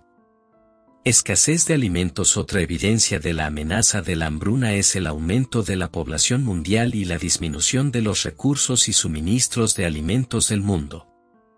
Las malas cosechas, las plagas de alimañas y las enfermedades causarán terror en todo el mundo en un futuro no muy lejano. La Biblia predice una grave escasez de alimentos y energía, y la crisis ya existe en muchas partes del mundo. A medida que la población mundial supera tira la producción de alimentos, la situación empeorará. Ni siquiera se vislumbra ninguna mejora. Siete juicios finales. La Biblia describe en el libro de Apocalipsis las siete terribles plagas finales que vendrán sobre la tierra, las plagas que son peores que todas las demás juntas. Llagas malignas y cánceres de piel y fue el primero, y derramó su copa sobre la tierra, y vino una úlcera maligna y pestilente sobre los hombres que tenían la marca de la bestia, y sobre los que adoraban su imagen. Apocalipsis 16, 2. La primera plaga son las llagas malignas o cáncer de piel, que aflige a todos los que se han identificado con el gobierno del anticristo. La Biblia no dice específicamente qué causa las llagas malignas, pero podemos suponer que un principio que vemos a lo largo de las escrituras tendrá algo que ver con eso. La Biblia dice que cosechamos lo que sembramos. Hemos estado sembrando sensualidad, desnudez y permisividad sexual. Dado que las enfermedades venéreas ahora son un problema importante, esto podría ser una plaga de llagas persistentes, una nueva cepa contagiosa de enfermedades venéreas. Otra explicación puede ser una advertencia ofrecida recientemente por científicos que testifican sobre los efectos en la atmósfera del SST, avión de transporte supersónico. El SST ahora está siendo volado por otras naciones, pero tiene prohibido volar sobre América. Los críticos se oponen a la contaminación acústica de su estampido sónico. Otros tienen miedo de lo que podría hacerle a la atmósfera. Los científicos testificaron que si la SST causó solo un cambio del 5% en el nivel de ozono de la Tierra, estamos en peligro. Si eso sucede, dicen los científicos, niveles más altos de radiación mortal nos llegarán desde el Sol. Cuando eso sucede, predicen un aumento masivo de cáncer de piel y otras llagas malignas. Un cambio de más del 5% podría hacer que este brote de cáncer de piel sea casi universal. La contaminación de los mares y el segundo ángel derramó su copa sobre el mar y se volvió como la sangre de un muerto, y murió en el mar todo ser viviente. Revelación 16, 3. El segundo juicio final es la contaminación del océano. La Biblia predice que llegará a ser como la sangre de un muerto. La Biblia predice claramente la muerte de los seres vivos en el mar. Contaminación de ríos y aguas interiores y el tercer ángel derramó su copa sobre los ríos y fuentes de aguas, y se convirtieron en sangre. Apocalipsis 16, 4. El tercer juicio es la contaminación de los ríos y las fuentes de las aguas. El interés actual del hombre por la contaminación de nuestro medio ambiente no es accidental la humanidad ahora está desempeñando un papel claramente predicho en el libro de Apocalipsis. Va a haber un envenenamiento de los suministros de agua dulce de la tierra. Cuando la Biblia describe nuestro suministro de agua como la sangre de un muerto, está describiendo la muerte y la corrupción que ya hemos presenciado en nuestra generación. Es para empeorar. Olas de calor asesinas, sol abrasador y el cuarto ángel derramó su copa sobre el sol, y se le dio poder para quemar a los hombres con fuego. Y los hombres se quemaron con el gran calor, y blasfemaron el nombre de Dios, que tiene poder sobre estas plagas, y no se arrepintieron para darle gloria. Revelación 16, 8, 9. Durante este tiempo la Biblia también predice que el sol quemará a los hombres con fuego. Puede ser que Dios envíe llamaradas solares de gran intensidad que abrazarán la Tierra.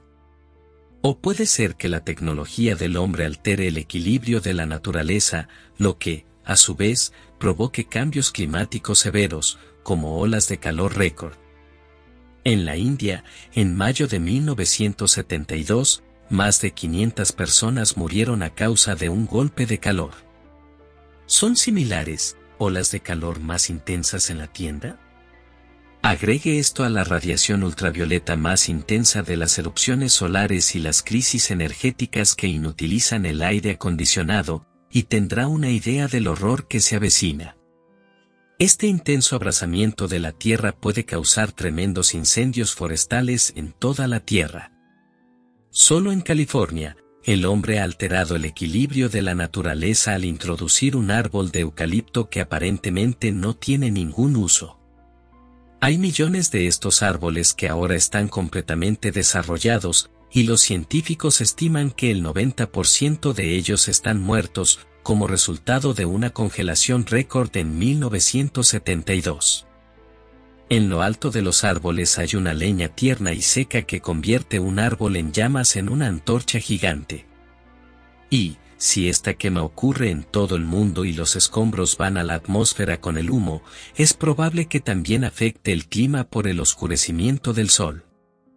Imagina un mundo de pesadilla en el que el sol está quemando la tierra, sobrecargando las centrales eléctricas y el aire acondicionado y provocando apagones masivos apagones internacionales y el quinto ángel derramó su copa sobre la silla de la bestia, y su reino estaba lleno de tinieblas, y se mordía en la lengua de dolor.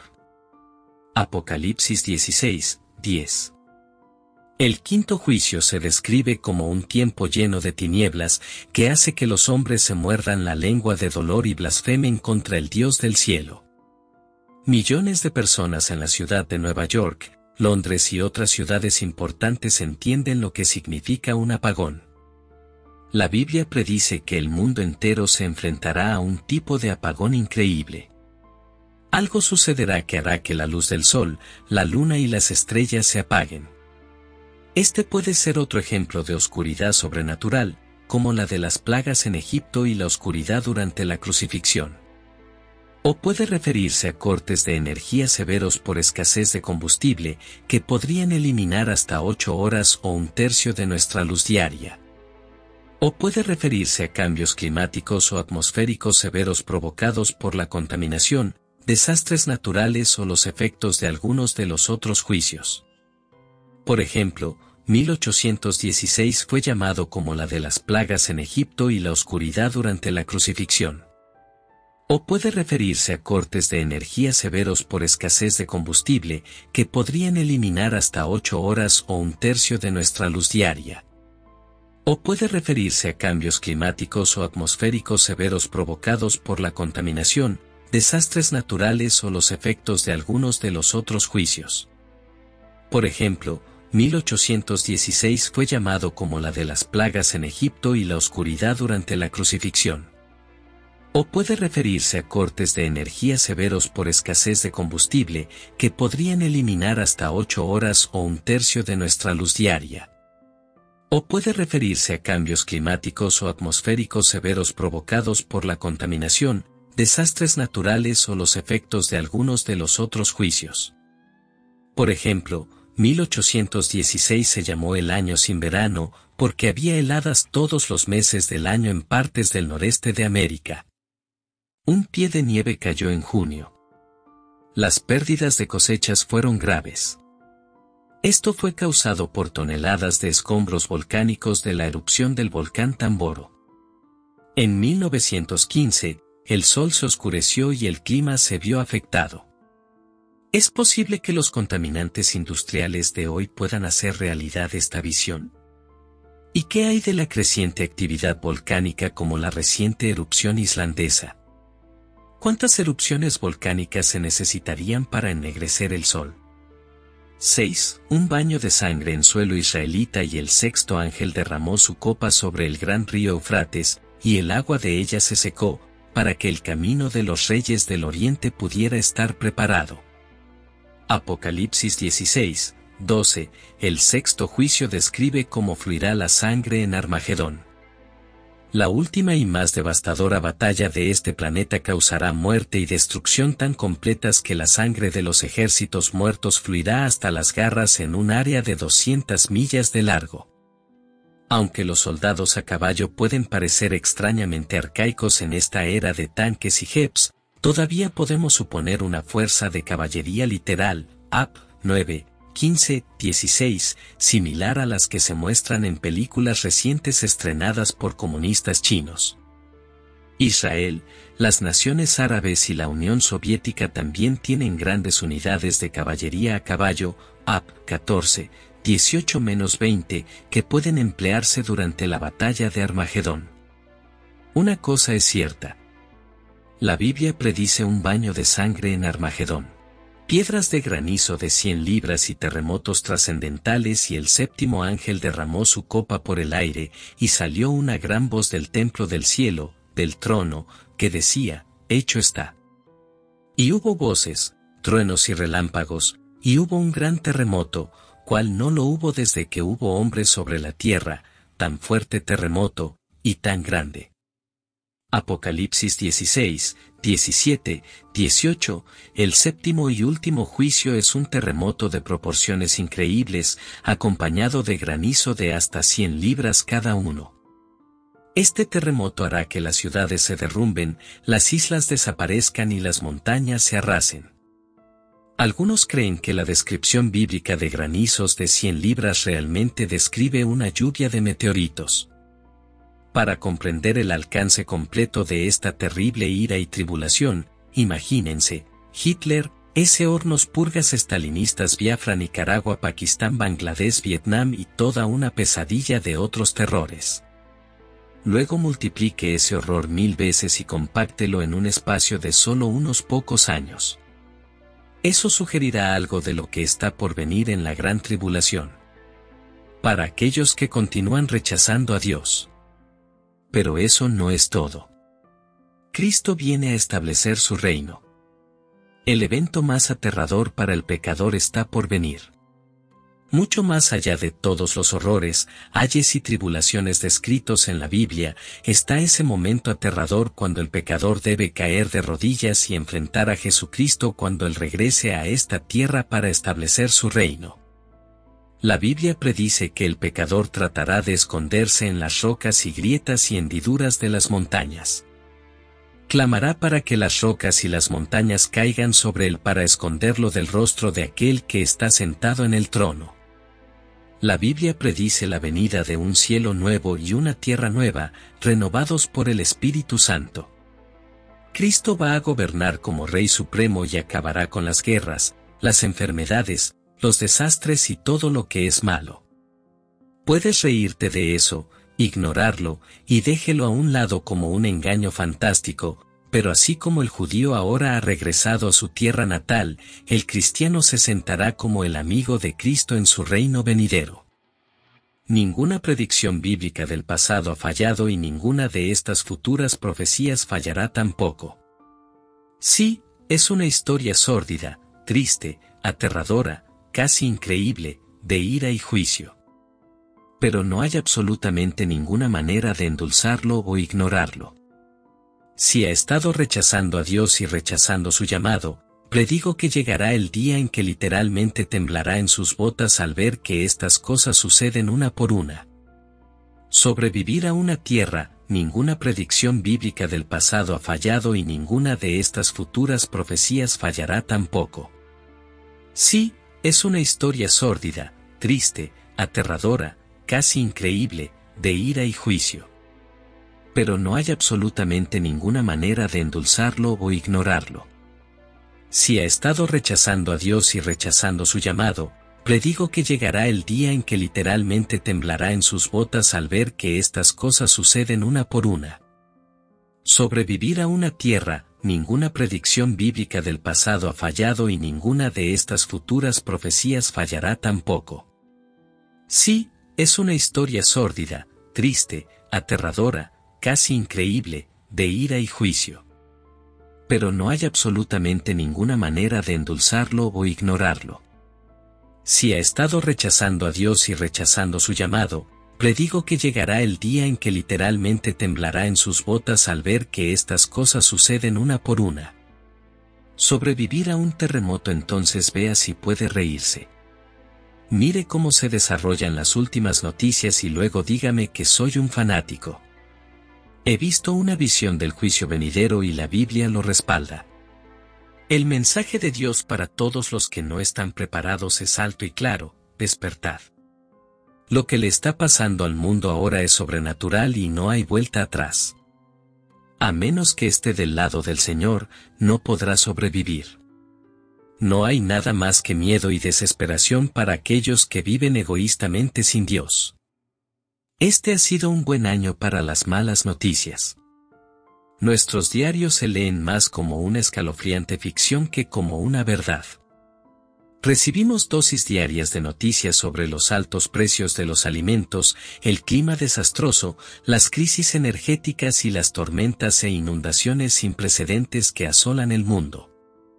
Palabras como violento, récord, fuera de temporada y romper récords siguen apareciendo en los pronósticos del tiempo en todas partes.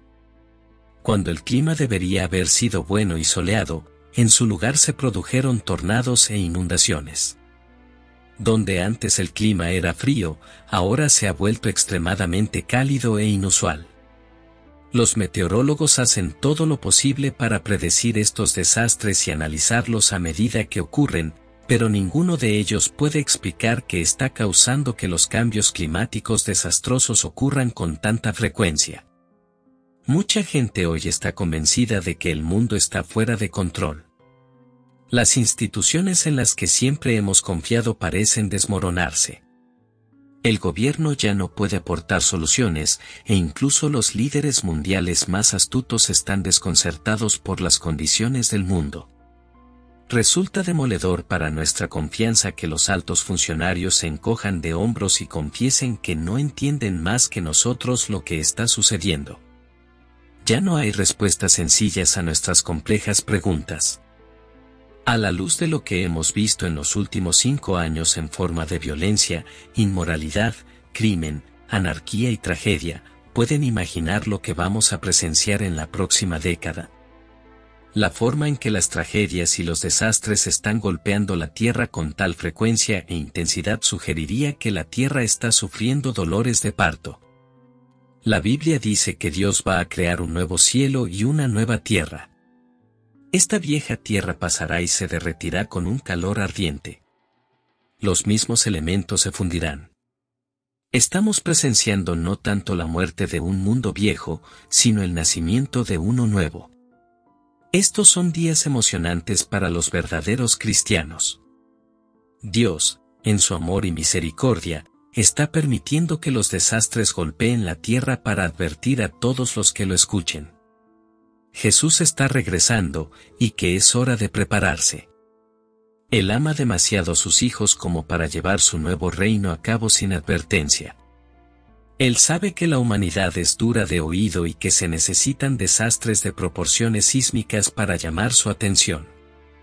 Estos desastres son una especie de cuenta atrás, demasiado dolorosa para ignorarla, coreografiada por Dios para preparar el escenario de los momentos finales del tiempo.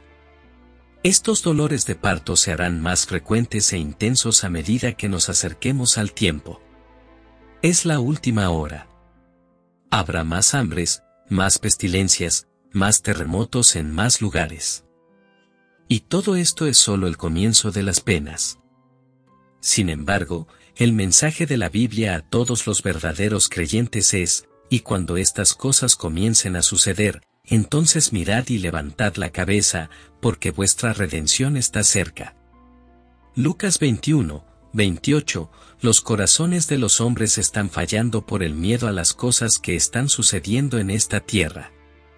La gente está acumulando, ahorrando y preparándose para la recesión mundial que viene.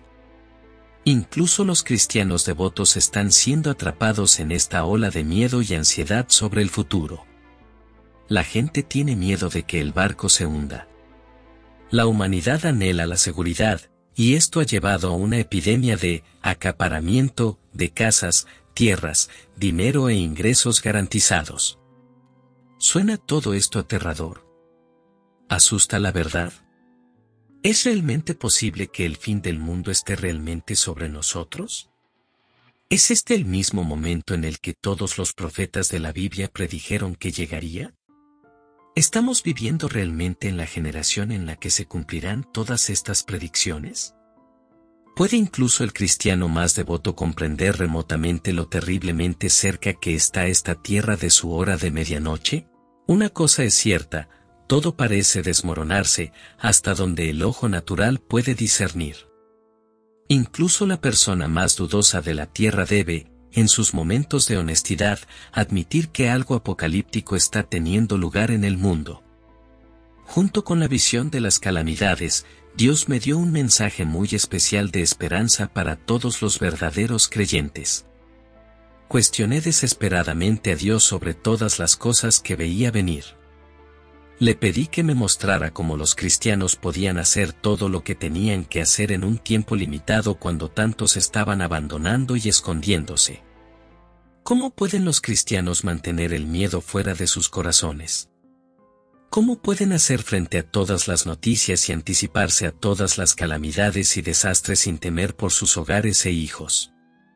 ¿Abandonan y entregan este viejo mundo al diablo y le dejan salirse con la suya?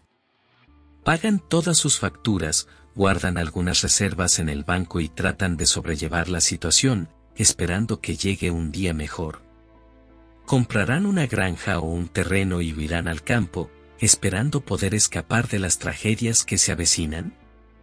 Comerán, beberán y se divertirán, sabiendo que la muerte pende sobre sus cabezas. ¿Dejan morir su motivación y se rinden al miedo? Abandonan todos sus sueños y ambiciones y se vuelven como ermitaños en busca de la verdad. Querido amigo, escucha lo que el Espíritu Santo me dijo. Solo cinco pequeñas palabras, pero tan poderosas que despertaron en mí una nueva y gloriosa esperanza y fe. Esas cinco pequeñas palabras son Dios tiene todo bajo control. Así es, todo está bajo control. A pesar de los terremotos, las hambrunas, las pestilencias, las tormentas de granizo, las olas de calor mortales, las inundaciones, los huracanes y las epidemias, la naturaleza no está fuera de control. Todo lo que vemos que sucede ahora ha sido claramente predicho en la palabra de Dios. Nada puede suceder en la naturaleza o a la naturaleza a menos que nuestro Dios lo permita. La Biblia predice que la ira de Dios se derramará sobre esta tierra a través de una naturaleza desatada, diseñada para advertir a la humanidad del juicio que se avecina. La naturaleza está controlada y limitada por Dios y no puede cruzar esos límites a menos que Dios lo permita. Dios le dijo a Job que fue él quien cerró el mar con puertas, puso barras y puertas para detener las orgullosas olas se apoderó de los confines de la tierra, para que los malvados fueran sacudidos de ella. Reservó los tesoros de granizo y nieve para el día de la batalla. Dividió los cursos de agua para el desbordamiento de las aguas. Fijó el dominio de la tierra y las ordenanzas de los cielos. Detuvo las botellas del cielo. Envió relámpagos. Y dispersó el viento sobre la tierra. Job 38, Hijo de Dios, ya no tienes que temer la violencia desatada de la naturaleza. Dios sigue siendo el rey del diluvio. Está llamando, castigando y advirtiendo a todos sus hijos para que presten atención a las señales. Pero hay un escondite para los creyentes. La Biblia dice, el ángel del Señor acampa alrededor de los que le temen, y los libra. Salmos 34, 7. Si confías en Dios, puedes mirar cada desastre a la cara y proclamar con confianza, mi Dios está hablando a este universo y su poder está siendo demostrado. Me quedaré quieto y veré la salvación del Señor. Incluso Satanás está bajo control. Como en el caso de Job, Dios puede permitirle tocar todas las cosas materiales y físicas que te rodean, pero no puede poseerte ni robarte tu fe en Dios. El poder del diablo es limitado e incluso los bebés cristianos pueden ponerlo en fuga simplemente resistiéndolo a través de la palabra y la sangre de Cristo. La Biblia dice, resiste al diablo y huirá de ti. ¿Suena eso como una derrota? ¿Sugiere eso un diablo victorioso?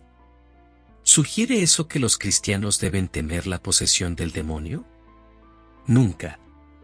Dios tiene todo bajo control, y nosotros estamos bajo su control.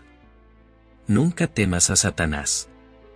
El temor del Señor es el principio de la sabiduría. De donde sea que hayas obtenido tu espíritu de temor, no lo obtuviste de Dios, así que, ¿por qué soportarlo? Sacúdelo, porque el mensaje de Dios para esta hora es, Dios no nos ha dado espíritu de temor, sino de poder, de amor y de dominio. Segunda de Timoteo 1, 7. Satanás puede tratar de inundarte con suciedad y obscenidades, y vejar tu alma con toda clase de maldades imaginables. Puede perseguirte, y los enemigos de Cristo pueden injuriarte y odiarte. Puedes acabar sin dinero, teniendo que rezar por tu próxima comida. Puedes ser odiado y rechazado por tu propia familia y abandonado por tus amigos más cercanos. Pero los ojos del Señor están sobre los justos y su oído está abierto a su oración. No debemos temer a nadie que pueda destruir el cuerpo, sino respetar y honrar solo a aquel que pueda tocar el alma. Ningún poder en el cielo o en la tierra puede tocar la confianza y la fe de un hombre en Jesucristo.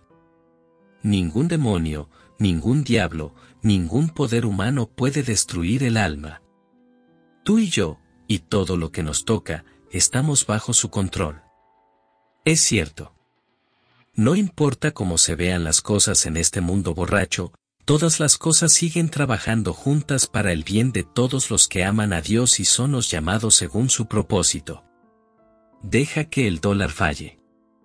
Que venga la depresión o la recesión con su desempleo y su miedo. Que venga la contaminación y la inflación. Que haya guerras y rumores de guerras. Que el tejido de la sociedad se desintegre. Que la humanidad vaya al borde ebrio del desastre para el verdadero Hijo de Dios, todo sigue bajo control.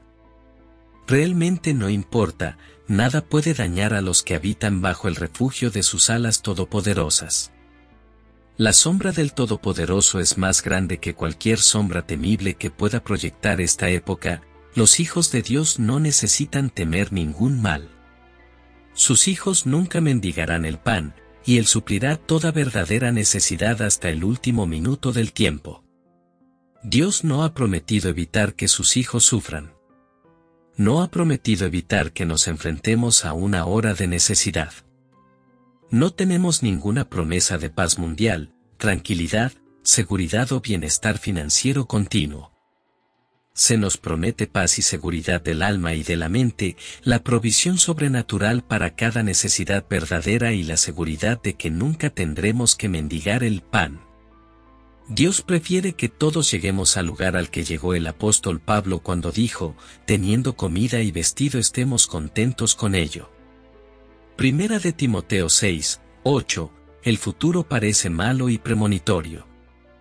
Pero David dijo en los Salmos, no temeré ningún mal. Este es el mensaje para los creyentes de hoy. El futuro también está bajo su control, así que no debemos temer. Dios lo tiene todo preprogramado. Él conoce el momento exacto. Cristo regresará. La tribulación final, el juicio y la batalla de Armagedón están en su calendario. El Dios que controla todo el cielo y la tierra dijo, las naciones son como una gota de un cubo, y se cuentan como el pequeño polvo de la balanza. Todas las naciones ante él son como nada. Menos que nada. Isaías 40, 15, 17, Dios quiere que sigamos trabajando hasta el regreso de Cristo. Eso significa simplemente que debemos trabajar como si el fin no llegara nunca y vivir como si llegara mañana. Al gran evangelista de El Moody le preguntaron, ¿qué haría usted hoy si supiera que Jesucristo vendrá mañana? Su respuesta fue, plantaría un árbol. Que así sea que el verdadero cristiano se dedique a plantar y sembrar la semilla de Dios y se mantenga ocupado haciendo la obra de Dios. Cuando Él regrese, que nos encuentre, haciendo su voluntad. Dios todavía está contando los cabellos de nuestras cabezas. Sigue contando los gorriones que caen. Todavía está escuchando las peticiones antes de que se le pidan. Sigue respondiendo antes de ser llamado sigue dando abundantemente más de lo que podemos pedir o pensar. Entonces, ¿por qué tener miedo? Creo que el cristiano preparado va a enfrentar un tiempo de dolor y tribulación. Creo que va a ser probado, tentado y puesto a prueba. Creo que los verdaderos cristianos van a ser testigos de muchos de los horrores descritos en esta visión. Pero también estoy firmemente convencido en mi propio corazón y mente y tengo el testimonio del Espíritu Santo en mi corazón que Dios va a liberar repentinamente a sus verdaderos hijos de su furia final que será derramada sobre la tierra.